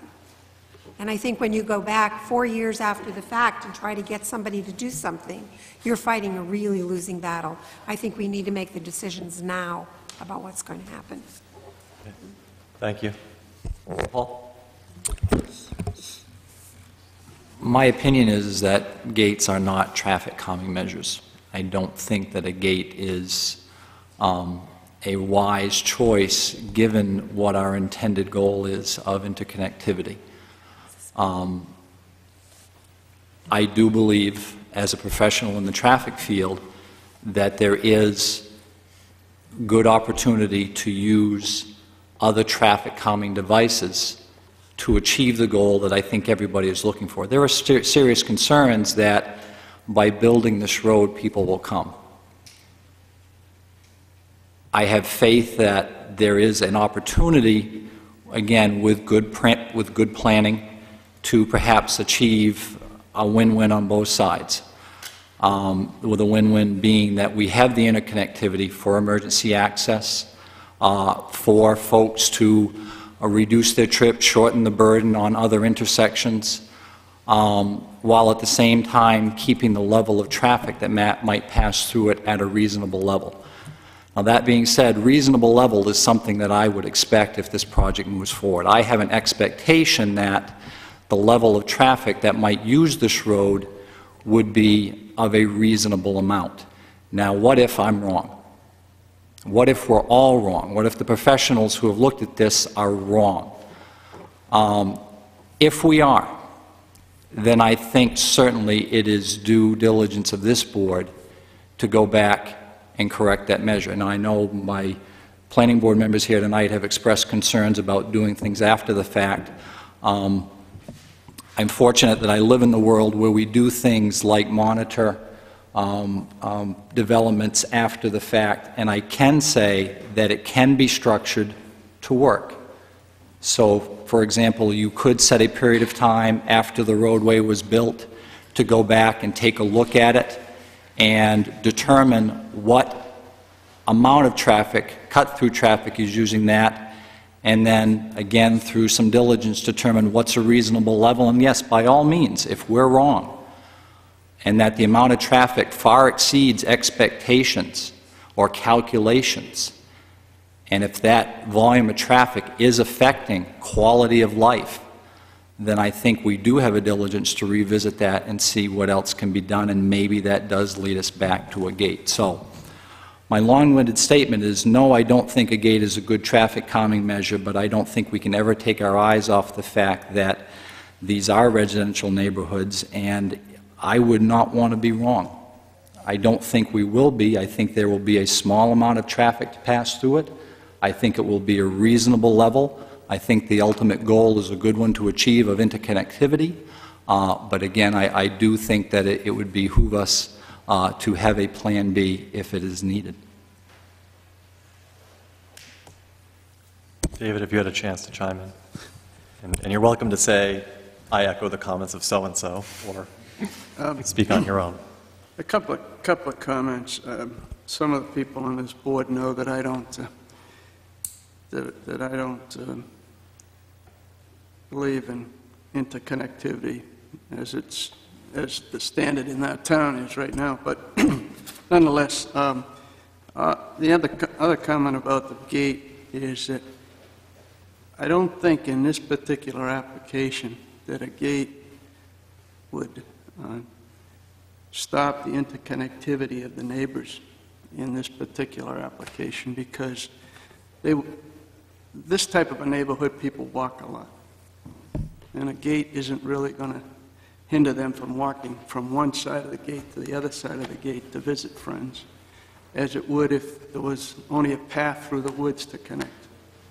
So from, I'm not sure that I think that the gate is the proper solution to this problem right now, but as far as those that believe a gate is a solution, um, it isn't going to affect the connectivity as much as some people might think. Okay, thank you. Uh, I will echo most of the, or virtually all the comments of Paul. They were very well said. I- I'm inclined not to uh, be in favor of a, a safety gate. I agree, however, that if we are wrong, I would like there to be something built into the plan so that one could be installed a year, two years, whatever the appropriate timing is. Uh, I haven't really heard any of the traffic experts say that there is going to be a, a significant volume of cut-through traffic. I just can't imagine a resident in the Mitchell Road area, if they decide they're going out to Route 77, is going to drive through this neighborhood.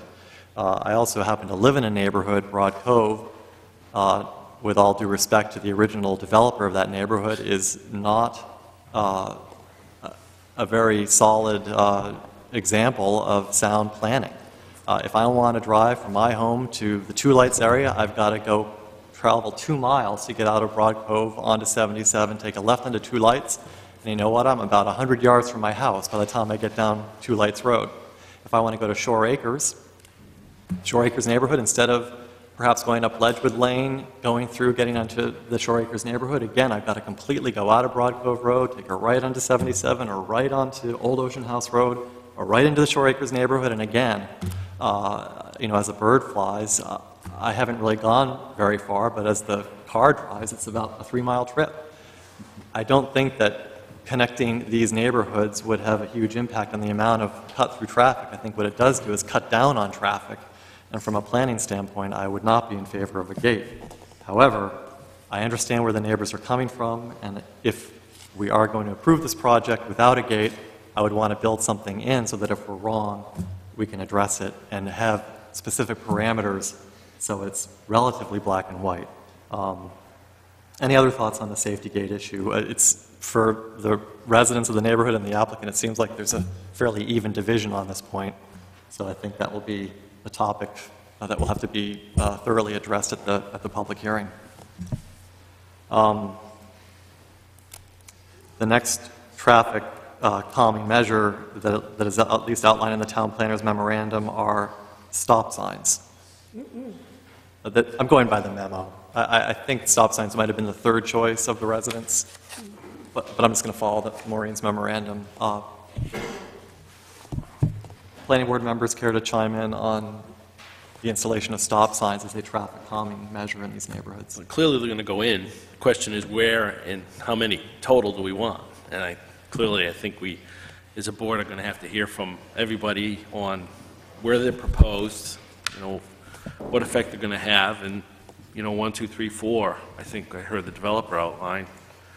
Um, you know, what effect they're going to have. I don't I s- I don't know how else to, Fair enough. I don't Address sense that. that there's going to be a, anybody on the board saying they don't want any stop signs. Um, But does anybody want to speak on that issue? I'd like to make a comment on the ahead, issue. Jack, I mean, I, uh, I live in a, actually a street that's a dead-end street, um, but at the midway point in that street, there's another street that crosses it, Eastfield, where Eastfield meets Highview, and then it crosses it going down Peabbles Cove. And there's a stop sign there on Eastfield Road, and, and no one pays attention to it. And I, and I think the stop signs in these quiet neighborhoods, there's no enforcement. I mean, it's, I would guess that maybe 30% of the people who come to that stop sign actually stop. And 70%, they prob- they probably feel really careful, they slow down, and they look, it's a quiet intersection. But the stop sign is basically ignored by the majority of people. Uh, And I think the comment by the traffic engineer uh, rings true, that the more stop signs you put in, the greater the chance they get ignored. So I, I think if you have one or two, or maybe three key points that are obviously uh, danger points, then traffic, then stop signs make sense. But uh, you do have to be concerned. Uh, people do tend to ignore stop signs when they either see too many, uh, when they're in locations which really don't require them. Okay, Paul? Well said, Jack. Again, my opinion is that stop signs should be used only when warranted, and there are very clear outlines when stop signs sh- should be used. Uh, For example, stop sign at Chicory Way when it intersects South Street. That's a warranted location. You don't want traffic coming from Chicory up to South Street not to have some sort of a control so that it it could potentially conflict with with with through traffic. But I am opposed to stop signs as a traffic control measure where they're not warranted. Um, Studies have shown that where there are too many stop signs, Jack pointed out appropriately, people tend to ignore them. People tend to actually drive faster between them. Um, Again, I- I'm I'm concerned that they- they they being used as measures to slow traffic down may not ultimately achieve that goal. So again, I- I'm I'm in favor of uh, many of them that are designed appropriately as part of the plans, uh, but certainly not with the current plan that shows some three-way stops out in Columbus, because I don't believe it ach- achieves the objective that we're, that we're, that we're trying to accomplish. Any other comments on stop signs? I mean, I also echo the concerns raised by Paul and Jack, that we just have to be careful that we're not placing too many of these, because they, they can then be ignored, and then obviously are not effective traffic calming devices. Sidewalks and tree plantings. Barbara? I would like to say that, and I just have to say this, you're not going to like it, but I'm going to say it anyway. When I look at what happened at the meeting and what the developers decided to do in terms of traffic, I'm not happy. And the reason I'm not happy is because you stuck in one sign that wasn't there, one stop sign that wasn't there in the first place, and you added trees, which nobody really wanted. So I don't know whether you weren't listening or what you were thinking, but even people said, we don't want trees because you're going to put in these deciduous trees and all the leaves are going to fall down and we're going to have to clean them up and it's going to muck up our drainage areas. And so I'd like to say that I'm sort of disappointed with your remedies. As far as a sidewalk and an esplanade, perhaps with maybe conifer trees that don't shed their leaves and stay green all year round. That to me seems like a rational kind of a solution, perhaps on one side of Columbus Road. Um, We have to talk about the other side separately, but uh, it seems to me that would be a safe for children for walking and biking and, and having an area where, so that the road itself could be narrowed, which according to the traffic engineers, that is one way to get traffic to slow down. So I would definitely be in favor of a sidewalk on one side of Columbus Road and an esplanade with some kind of non-shedding trees in it. Anybody else want to weigh in on sidewalks? I, I think I said at the very first workshop we held on this project that it, it would appear to me that the installation of a sidewalk for the length of Columbus Road would be a very effective traffic calming device. Uh, I obviously was interested in what the neighbors had to say, and neighbors in that area had to say about it, but but I remain uh, convinced that that would be an effective traffic calming device. What kind of trees are placed in the esplanade, I guess we can discuss further on. Uh, I, I I, I believe, though, that there ought to be trees planted in the esplanade. We have had study after study sh- tell us that uh, trees alongside a road do tend to slow traffic down. Uh, So I would definitely be in favor of that, and I understand the applicant is concerned about costs. It's certainly a valid that they, that that they are concerned about it, but given the, the impact on the neighborhood, I would be inclined to, to require that they in- incur that cost. Anything else on I'll say, I agree with what you just said without... And to echo Jack's comment on the stop signs, if stop signs aren't necessarily going to be the most, a three-way stop sign in Columbus Road may not be effective, all the more reason to have uh, sidewalks uh, in place. I I guess I had a question for Maureen. It- The the current width of Columbus, does it allow you to just add sidewalk, or do you have to now make changes to 20 properties along one side? There's enough, you wouldn't have to take any land.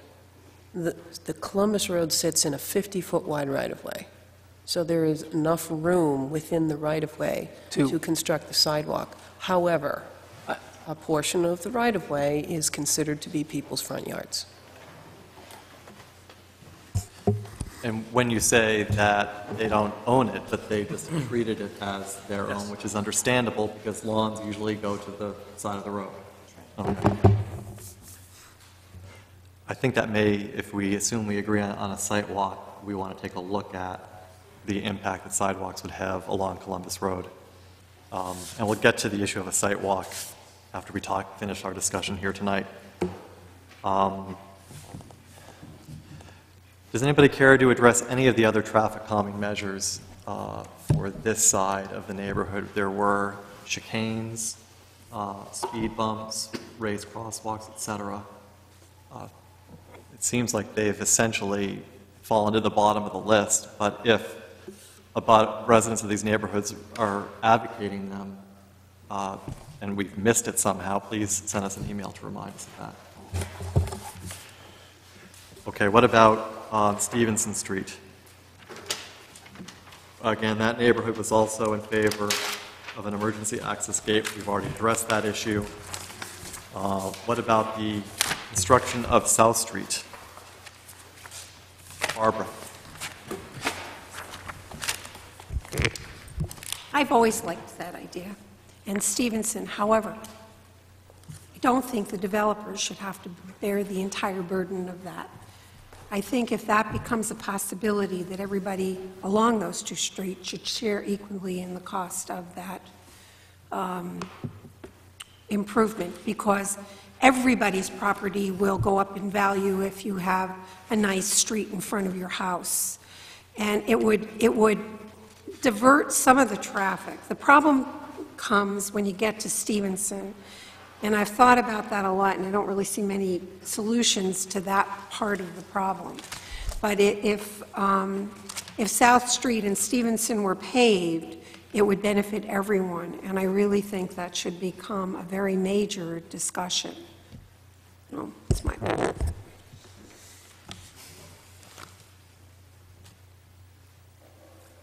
mean, my concern about that particular item is that I'm not sure it's a traffic calming measure, and I'm inclined to only require the uh, applicant uh, to implement something if it's going to calm traffic. Uh, So I'm not sure I see a connection between that, although it sounds like it would be a good idea. I would not be inclined to make that a requirement of this application. Uh, I don't know if I'm the minority here, but it might No, be helpful. I I agree with that. I also, it could make the traffic issue worse, in fact. I, I I concur with your thoughts, David, yep. Okay. I Uh, want to say one more. Go ahead. I do see it as a traffic calming measure. Because Okay. I think you're taking traffic, all of the traffic that would go down Dermot, and I forgot the name of the other street. Emlyn? And that's a huge, in Hamlin, that's a huge amount of traffic. That's the worst part of it, by the traffic studies. And at least you'd have two different ways that people would go out, so everybody wouldn't be coming out the same way. I mean, some people go straight, some people make a left, and I think it would be a traffic calming measure, so I don't agree. I respectfully disagree. Fair enough.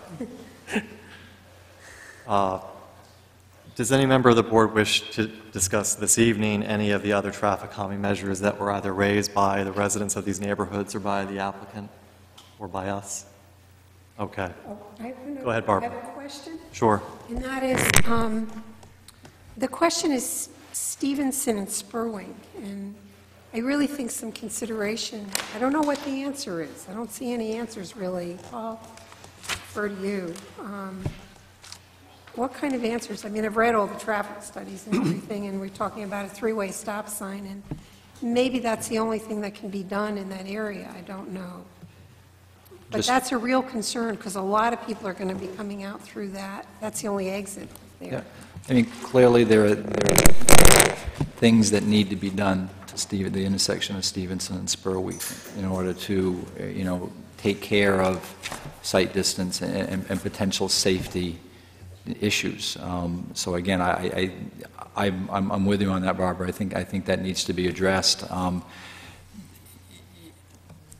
I, and I, I I think, well, we, we will make sure that it is as, as part of this process.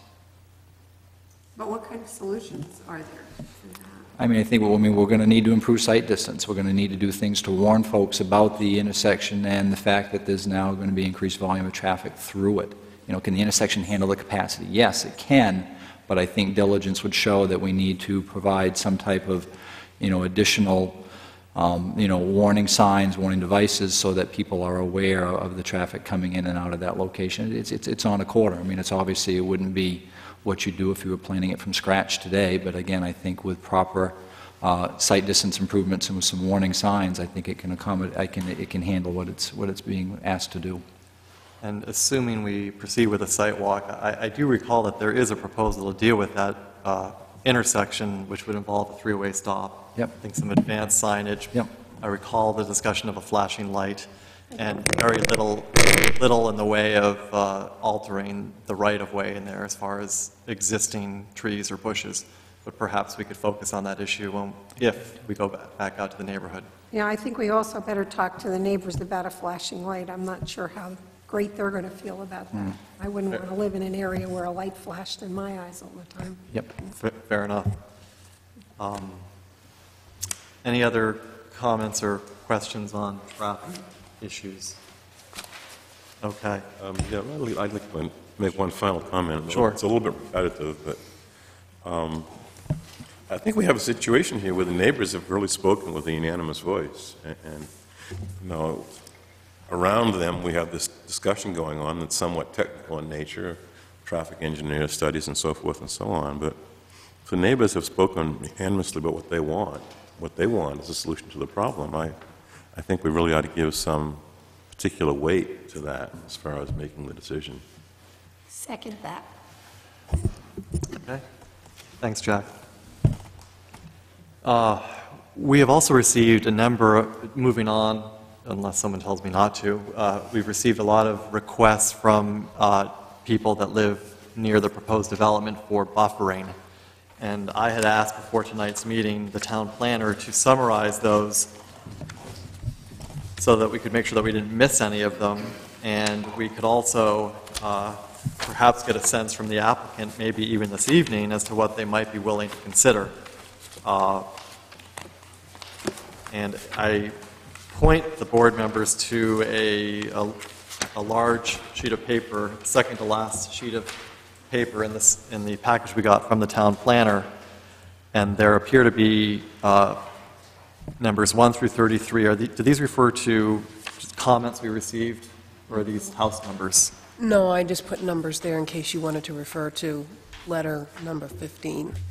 Fair enough. And the, what's in bold, are those the requests then for buffering that you were able to gather from the emails? Yeah, those are, those are property-specific.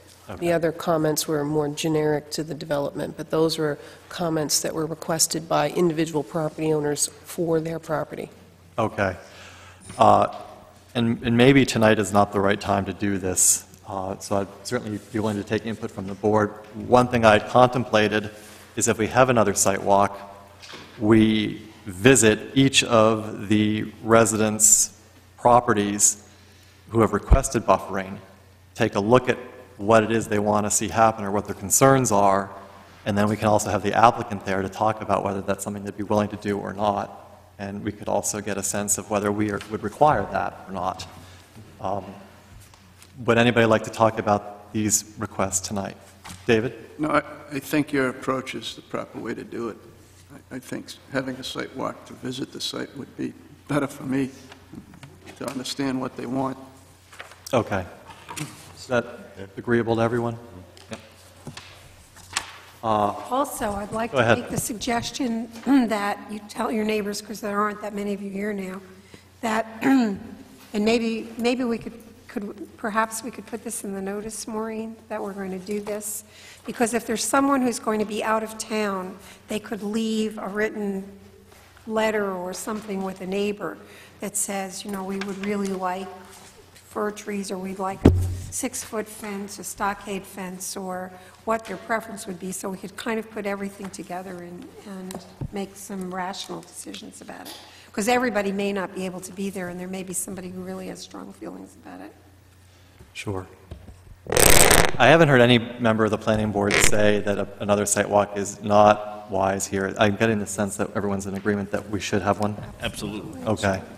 Uh, I would like, though, to focus our energies during the site walk on some of these specific issues, so that if, if you are uh, someone who lives in this area that, that has made a specific request, we would like to visit you during the course of our site walk, uh, and I don't know what the best way to get the word out would be, but I suspect this could be a fairly lengthy site walk. Um, I'd suggest that we start early on a Saturday morning. I have kids, so I get up rather early, but, um, uh, you know, we could start at eight and continue most of the morning. Uh, And uh, what might be helpful is Maureen and I could talk on the phone or by email and kind of come up with a general plan of attack. And in addition to the abutters who have requested buffering, I would like to visit some of the areas involved in the traffic calming measures. So that would be the length of Columbus Road, uh, walk, walk along that area, perhaps the, uh, the intersection of Spurwink and Stevenson, uh, the area where the Stevenson folks would like to see a, a, a speed table, et cetera, so we can view these things again firsthand. Does that sound like a reasonable plan? Very. I think we should also give, the, the, pe- I mean, there- there's correspondence has mainly come from, you know, there's 30 or 40 people that have been writing on a regular basis. And I think that it should be, wait. you know, some of the things that we look at should be weighted more toward the people that have, you know, continued to show a lot of interest in what we, you know, th- this discussion. Um, I'll I'll leave it at that. Uh, I, I have heard from, in some of the emails, that some residents uh, in the, is it the Macaulay, yeah, it's the Ma- Macaulay Road neighborhood, may not be in a position, due to family situations, et cetera, to tell us what they might like. Uh, To the extent you're able or willing to try to find out from those people what they would like, we're happy to hear from you as their uh, proxy that would like to have some sort of confirmation, whether it's a note that that's what indeed they'd like to see. We wouldn't want to require the developer to install a fence along someone's backyard only to find out they didn't want it. But, you know, I I trust we can get that information to us uh, during the site walk and at the next hearing. Uh, Go ahead, Barbara. Could we also add on to that, there were a couple of people, um, there's a gentleman who lives across from where Kildare, I can't remember his name right now, where Kildare and and Chicory come into Columbus and s- and was very concerned about lights coming into his, He's on that list. which is also Yeah, he's on that Bob Bush. list, yeah. Okay, Good. Okay. So we need to set a date. The, uh, assuming we table this to the next public hearing, that's going to be uh, May 16th, so we need to do it between now and May 16th. I would say the earlier the better. We have a site walk this Saturday. What about the following Saturday, which is May 6th? Does that work for the applicant and its consultants? It's Mother's Day. Oh, Mother's Day? No, the The following. following weekend's Mother's Day. Mother's Day. We're all gonna run the same. Six is, six is open for me. Okay. I have lacrosse, well, I don't have to be there, I suppose, but lacrosse games are probably going to be set. We're all gonna run through that. Um, I, I, unfortunately, I can't do Sunday. No, I don't think we should. I think we just start as early as we can on Saturday. And maybe starting at I'm 7:30. not here on the 6th. You're not. Sorry. I'm out for a I got a 9:30. But it's going to be hard to hit everybody. All right. If you can get six, you know. Can I have a show of hands as who, as to who is available on May 6th at 8 o'clock? Well, I think I am. Okay. Right now, I am. I'm not sure how long, but yeah. Yeah, All right. same. Um, Were you? I got, My only concern with May 13th is we're getting awfully close to the... I can't do it on May 13th, All right. that I'm quite sure. Well, then, sounds like May 6th is better. And perhaps John, with the town planner, could arrange a time to go down and look at some of these issues during the week? If you're going to try to visit all these places. Yeah, Earlier start? we're gonna be, okay. Two hours seems ambitious to get this done, to be honest. Well, if you know how long you have, then you know how long you can stay at each place. That's true. All right. 7:30. How about seven thirty start? Some of the people might not be. I don't like it either, but uh, If we, s- what if we went from 7:30 to 10? yeah, No? Or, Good idea. or 8 to 10? Eight, seven thirty to ten. 7:30 to 10. Willing to go as long as it takes, whatever, that's fine. We'll, we'll commit to that, and we will just need to keep in mind that it's two and a half hours and try to move along as efficiently as we can. so can. when are we starting? Uh, Third. 7:30. You know, I- I, I truly think we can cover. Could I just get a nod from the abutters? Is that ridiculous? No. Y- uh, y- You know, Yeah, eight would be better. I mean, They're, they're there already. We have to get there. well, we can, we can walk the length of Columbus Road and not knock on people's Yeah, doors. That's- I mean, we, we can, we can view the Columbus and Yeah, no- intersections and then do the, do the residences last. So we probably wouldn't come to folks individually till 8 or 8:30. We'll, we'll make coffee and cake for you. How's that? Excellent. House to house, just fill in. We're going there first, that'll be good. I think if you've read the emails and you're fairly briefed on what each person is looking for, you can be there for five minutes, Hmm. right, point to I- this, this, and this, I think you're right. And I say, great, you've heard me, I, you've talked. I agree. We'll- I agree. We'll do our homework in think eight- advance. I don't think it'll take longer than two hours. All right, so 8 o'clock then, board members? 8 to 10? Yes. Change this. Okay, thank you for, Yeah, uh, Tell everybody to be prepared. well, we, we we do have, a- as doing it right now. this lady in the back pointed out, we do have a pretty good idea of what folks are interested in uh, for their own individual properties. To Jan, that's the most. All right. uh, I think that's all that I wanted to try to cover after the applicant's presentation. Is there anything else that any member of the board would, wishes to raise right now? We'll get the stormwater plan next time, so we can... Storm, yes, that's right. John? I- Are we allowed to talk about phasing? Is that something that you, can that we, can? Sure? Um, I understand that, that um, you, you don't quite know the start date, but is there some idea of, you know, fa- how long each phase takes?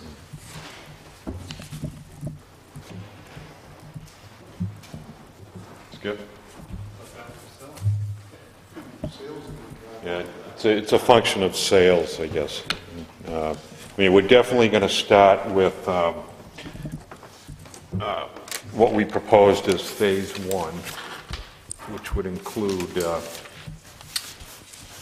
you know, these, these single-family lots right here.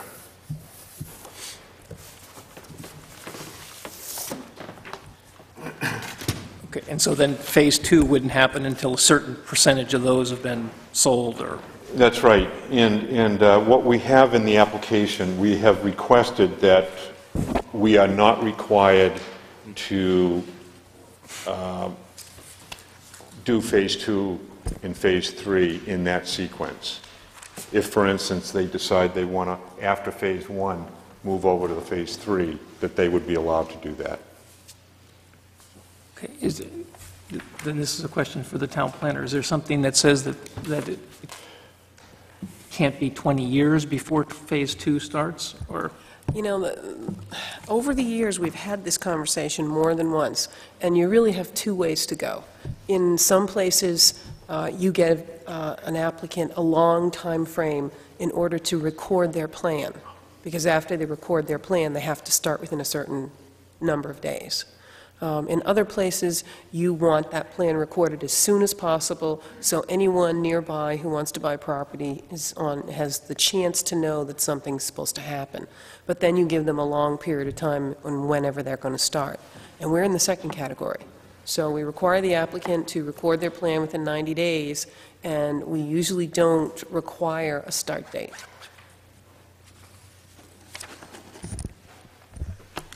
Us- Usually don't. Is that something, who? I don't ever remember us requiring a start date. And, you know, the reality is that even if you did, um, you'd have to ask yourself the question, if a developer is not, at that particular moment in time, financially able to start the project, do you really want them to go out there and make a mess and and then go bankrupt? So, Then- What, I mean, was there, do you have a concern the other way? It- Well, I, I guess I, I, well, yeah, that it wasn't going to go on for, I mean, we're talking to the neighbors here, that it doesn't go on forever. That they or- wouldn't have trucks That there's some- the neighborhood exactly. for the next 20 years? Exactly. Then I had one other question about, sorry. Could we let the applicant? Yeah, sorry, I'm sorry. Hi, um, I'm Craig Cooper, one of the applicants. I mean, we would have every desire to start as soon as possible, and based on sales, et cetera, we'd like to complete this project as soon as possible. And uh, that's our- been our firm belief and desire from day one, so we- we would not want this to go on any longer than necessary, and that's one of the reasons that we requested the ability to go from Phase 1 to Phase 3. If the sales of the condominiums become more than the single-family homes, then we can move over there and complete that part of the project as well. There's no, indic- there's no desire to drag this on any longer, and if sales are good, we would be expecting a complete build-out phase to be between three and five years. Do you have another question? I did, and it has to do with when the town should expect, should accept the open space, and who decides that? The the applicant, well, when you have a phased project and you have open space, um, you want at least amount of open space that goes with that phase of the project, but we don't divide open space up among the individual units, so it becomes a little complicated. Um, So what we've asked the applicant to do, just to keep it clean, is to give us all the open space as part of Phase One. Okay. Paul? A couple of things, David, if I can. Um, Maureen, in your letter, um, noted that the the applicant has eliminated the proposed improvements to the Columbus-Mitchell intersection at the recommendation of the town manager. Um, I don't recall seeing any, I didn't- don't recall seeing a letter from, from Mike on that, and I guess I'd just like to understand why, and um, I probably want to follow up on that. Okay. Uh, Second, and then, John, maybe you can help me. Um, I have a note on my list of comments. I think there's a note in the plans um, that talks about the removal of the raised crosswalk. Yes. At the request of the town. There is. Um, I I guess I'm, well, it's something I'm going to suggest is not, it would be removed until we figure out exactly where we're going with this, because that would not be my recommendation at this point. I'm not sure where we're going to want to get in, well, if the planning board recommends traffic calming devices, um, does the town have the authority to supersede our decision and have them removed? Where is it? Uh, John, you remember where that was? Within their project? Yep. I believe it specifically talks about the raised crosswalk that is on South Street. It's on, it's on sheet two, Sheet two. note, uh, note five. Yeah, uh, note number five, the applicant shall modify or remove the raised crosswalk if requested by the Public Works Director. And I guess my, my overriding question is, is if the planning board approves this project with a raised crosswalk, um, does the town have the right to remove it if this note stays? The raised crosswalk? Yeah. Any, once the planning board approves a plan, any amendment to the plan has to come back to the planning board. Okay. So Even- But once, once the town accepts the road, after they accept the road and they, rem- if they remove it, I don't see how you could ever hold the developer. no, no, it's, I mean, legally, you have, you have the grounds for it. Um, Practically, probably not. John, could you just show me on the, on the, the plan, maybe right there? You're right there. Okay. It's, it's South Street and Franklin Circle. Yep. When was that added? It was added in the latest round, so somebody has suggested that that note be added. Uh, Again, my point is, is that if this board decides that it's, a raised crosswalk is appropriate, uh, I'm wondering under what grounds can it be removed? Well, I think we should have it stricken if we think it's appropriate. I have this note stricken. I mean, again, traffic calming is still up for debate. I mean, I'm, in- I'm, in- personally, I'm in favor of tra- this, this raised crosswalk as being a traffic calming device. That uh, spot. At that spot. So I guess I'm not inclined to think about somebody ultimately having the ability to take this out, because it would have an effect on, you know, theoretically, has an effect on cut-through traffic. I But once, with once, 100%. once it's in, I just saw it. project's done, developer dedicates, They're, they're gone, but the, the town owns the street, the town maintains the street, the town maintains the crosswalk, the town takes out the crosswalk, the town takes out stop signs, the town puts in stop signs. And we could add, the town could late, later take out some of these, or put some, or add some more if it decided some other intersections needed it. Go ahead. Town council, correct? Right, I, I- it's occurring, and this was approved before I was hired, um, but the the Elizabeth Farm subdivision, I believe, was a private road that had a um, stone dust path adjacent to the roadway. And um, the property owners decided they wanted the town to take over the road as a public road. And I believe when they upgraded the road to meet town standards, they eliminated the paved pathway. And that was done without coming back to the planning board for any kind of approval. So I think that answers, Because the town at that point owns the right-of-way, right? didn't, Oh, that was part of the condition of acceptance. Well, that's interesting. something all over. Okay. Do you want to speak to, before we get to Jack, one more issue, you had asked, I don't have the letter in this file, I actually have four different files in this project right now, and I can get a copy of that to you. If we could do that prior to the site walk, that would be great. Yes. Thank you. Jack? Maureen had a question, but probably the other one to answer.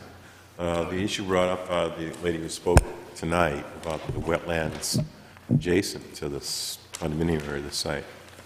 Is- Is that something we should look at in the site walk, whether the the drainage from the condominium here affects that wetlands? Um, I believe, and, and I hope the applicant can answer this as well, I believe when the original wetlands analysis was done by the applicant, that you verified that there were no RP1 wetlands within 250 feet of the boundary of the property. That's correct. Okay. If this is not an RP1 wetland, it would be an RP2 wetland, and the, the town doesn't regulate any activities outside of RP2 wetlands. I'm sorry, what, what did the board decide about the raised crosswalk note? I I don't think we have yet. To be determined. Yeah, I think, I think we want to find out what the source of the, Okay. Well, and it sounds to me like it doesn't really matter whether you take the note out, Because what I'm one- gathering from the town yeah, planners. because once, once the, they turn the road over to the town, it's the town's road. The applicant is, is, does not have any responsibility for it. I think the developer's concern is, what am I building? I th- I And think right now, the answer is, we don't know yet. I, I, from what I'm gathering, I think the planning board is in favor of the raised crosswalks in the Franklin Circle, South Street intersection. I think it's just a question of whether that note five ought to remain in the plans or not. Right, but it does sound like the planning director, I mean, the uh, public work director was the one that asked that it be removed. Is that right? And I just, I would like to know why, just so I understand what the rationale Now, is. um, as, as the board probably remembers, there was um, pretty unanimous op- opposition from town staff to a variety of traffic calming You just- measures, and this was just one of them. I I would be inclined to take out note five. I think that they ought to be built, and then if down the road, the town council or whomever is the appropriate regulatory authority says they come out, then they come out. But I, I- I don't want to make it that easy, that the, the public works director can just request it and then it's gone. Now, maybe that's how it works anyway, but I'd be inclined to take out. No, I, I, generally, I, I agree with you. I just want to hear what his rationale is first. The town council passed an emergency resolution that made sure that we knew that we didn't have to be guided by public works director or any other town staff advice. That's right. Mo- uh, Barbara? I don't think we need to wait. I think we should ask for it to come out. This is our decision, and if, after the towns go, to if, the once the road goes to the town, then it's not our decision anymore. But I agree it shouldn't be that easy, and I agree that I think we should just get it out of here, I- I- get it out of the plans. And the only reason I hesitate on that, Barbara, at this point is we're considering traffic calming devices as a whole. When you bring it all together, the stop signs, the raised crosswalk, the esplanade, the sidewalk, everything. And I- I'm not inclined to take it out or put it in right now. I just want to, I'm glad Paul pointed it out because I as- assumed it was still there. Um, But I I guess right now, I don't want to ask the developer to do anything until I get sort of a fuller hearing on it from the Public Work Director. I want to hear what his thinking is. Maybe we'll disagree with it, maybe we'll agree with it. And then we'll make a decision when we get the whole traffic calming picture puzzled together. Gate, the whole nine yards. I want to hear it all next time. And at the site. I'm just a little uncomfortable that this is sort of the backwards way of... Well, that's why we all read the plans. No, no, backwards in the sense that we're letting a staff member come in and make an alteration to a plan after the fact without us saying, we want to incorporate all that that staff member has said, because maybe you open the door to some problems that could have in the future. But I'll defer to Uh, The town planner has a question. To, to Planning Board Member Schenkel, you had mentioned stormwater. Um, I was, just wanted for the applicant's benefit, what you expected to hear about stormwater at next month's meeting, whether you wanted a full presentation of that, or are you just looking for comments from the town engineer, or? Well, I think there's some discrepancy between, or dis, not complete agreement between what um, the the Gorrill Palmer said about stormwater management, and some of abutters hired DeLuca, and I think they need to just be reconciled. And I think that the applicant should explain that. And I'd also like a comment from Steve Harding about what his opinion is as the town engineer. I think we ought to look at the whole thing. And the other thing I'd, I'd like to take when we're at the site, one more look at, is there's an area that crosses over, could cross over to some butters that was very, very wet um, as you came up South Street, and I think we should remember to look at that again when we're on the sidewalk, just to be sure that there aren't going to be problems there. Okay. And Maureen tells me we'll be going that way because some of the folks that live near there are asked for buffering. Okay. Any, Where are we going to meet? well, that's a good question. Um, uh, I mean, it might make sense, are most of the specific requests for buffering, wh- which side of the neighborhood are are most of the requests? Most of them are on Columbus Road. Yeah. Columbus Road. The opposite of where we met the last time.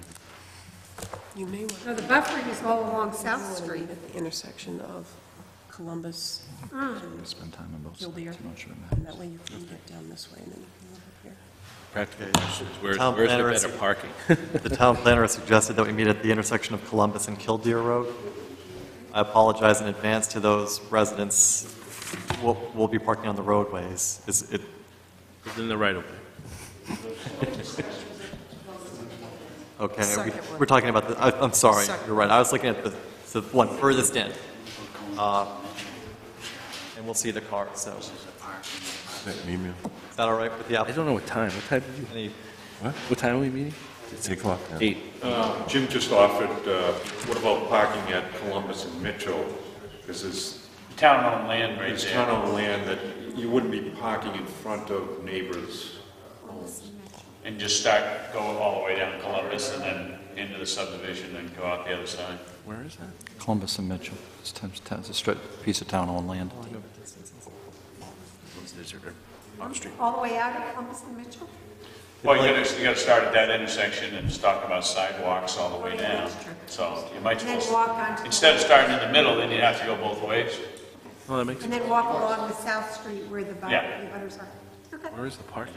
I guess where do we, where do we park? Where do we park there? There's a, the town owns that piece right at the, uh, at the corner of Mitchell Road It's and just all Columbus. There's a town park right there. Yeah, it's a park, it's woods. Oh, you can park right, I mean, it's Right. wide enough to park, yeah. Right here. very wide road. David. All along there? Funny you wouldn't be parking in front of anybody's house. That's, I mean, that, that's fine with me. It might make our walk a little bit longer on Columbus Road, but I think we want to look at the Right. the sidewalk issues and other issues on Columbus Road anyway. Okay, uh, so we'll meet then in that park area, uh, off of the Columbus Road, Mitchell Road intersection. So you go down, you take a left, or depending where you're coming from, you go down Columbus Road a little bit, it's on your left? Yes. Okay. Okay. Okay. Uh, We still have not had a motion regarding a public hearing, unless there's anything else. Uh, uh, David, did you want to say anything else? No, I was just going to, go ahead. Okay. Should we make it all one together? Be it further ordered that the above application be tabled to the regular May 16, 2006 meeting of the Planning Board and that a scheduled site walk be held on the 6th of May at 8 o'clock. Are we, And at, oh, go ahead. Are we setting a public hearing at the 16th? Motion's been made.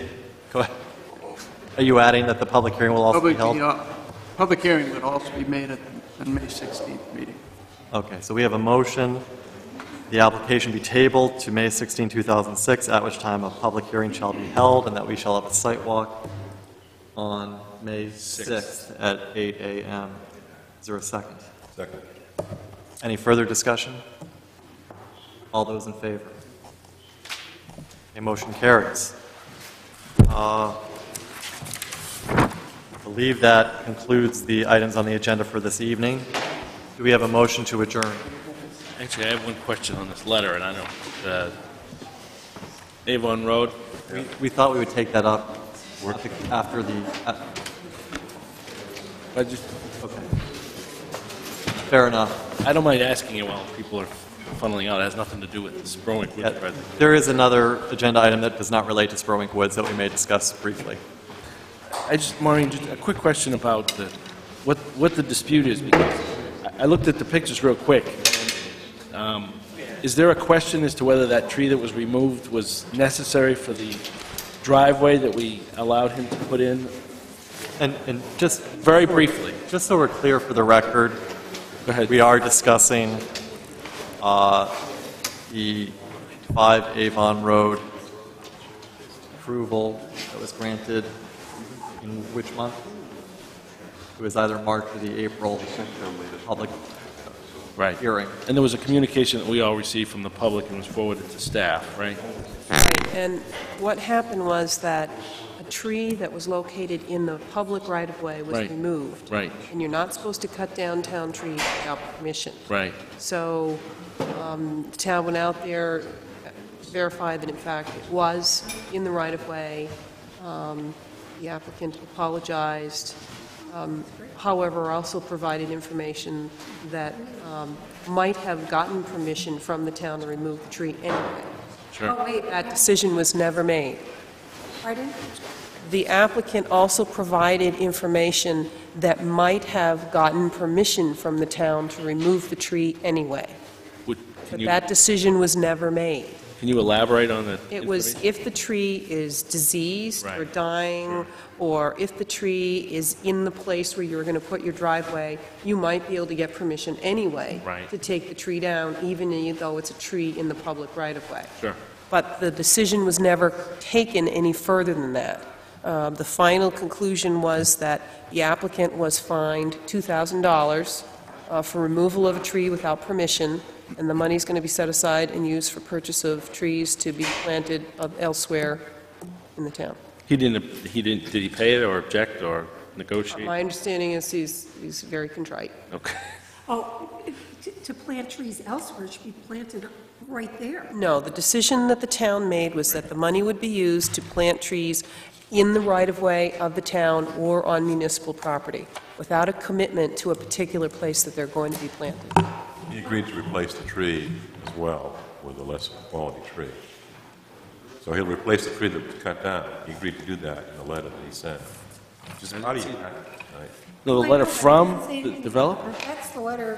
Hmm? Oh, I didn't see that Yes, one. how do you Slap communications tonight? If didn't I see if that. I could I just, saw the one from the town. if I could just jump in, I do believe this is an issue of enforcement. We approve a plan, we approve a project, but Right. as far as enforcing it, that's really not our bailiwick. Thank you, And it- David. And it appears to me that the town has taken steps to deal with the situation. Whether we agree or disagree, I think is really not What about the other? right for discussion. I agree, Dave, I just, so the really, from an agenda item, we don't need to bring this up again.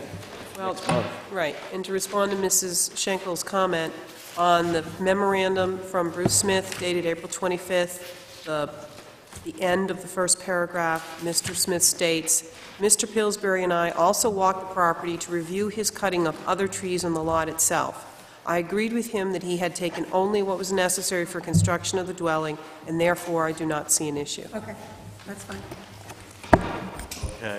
uh, My understanding, no issues on our agenda for the, Ap- excuse me, the May workshop, so we will not have a May workshop, um, just for your information. Two site So, yeah, we'll have two site walks, so we'll be kept plenty busy. Um, Any further business? Is there a motion to adjourn? I move to adjourn. Second? All those in favor? Okay, thank you.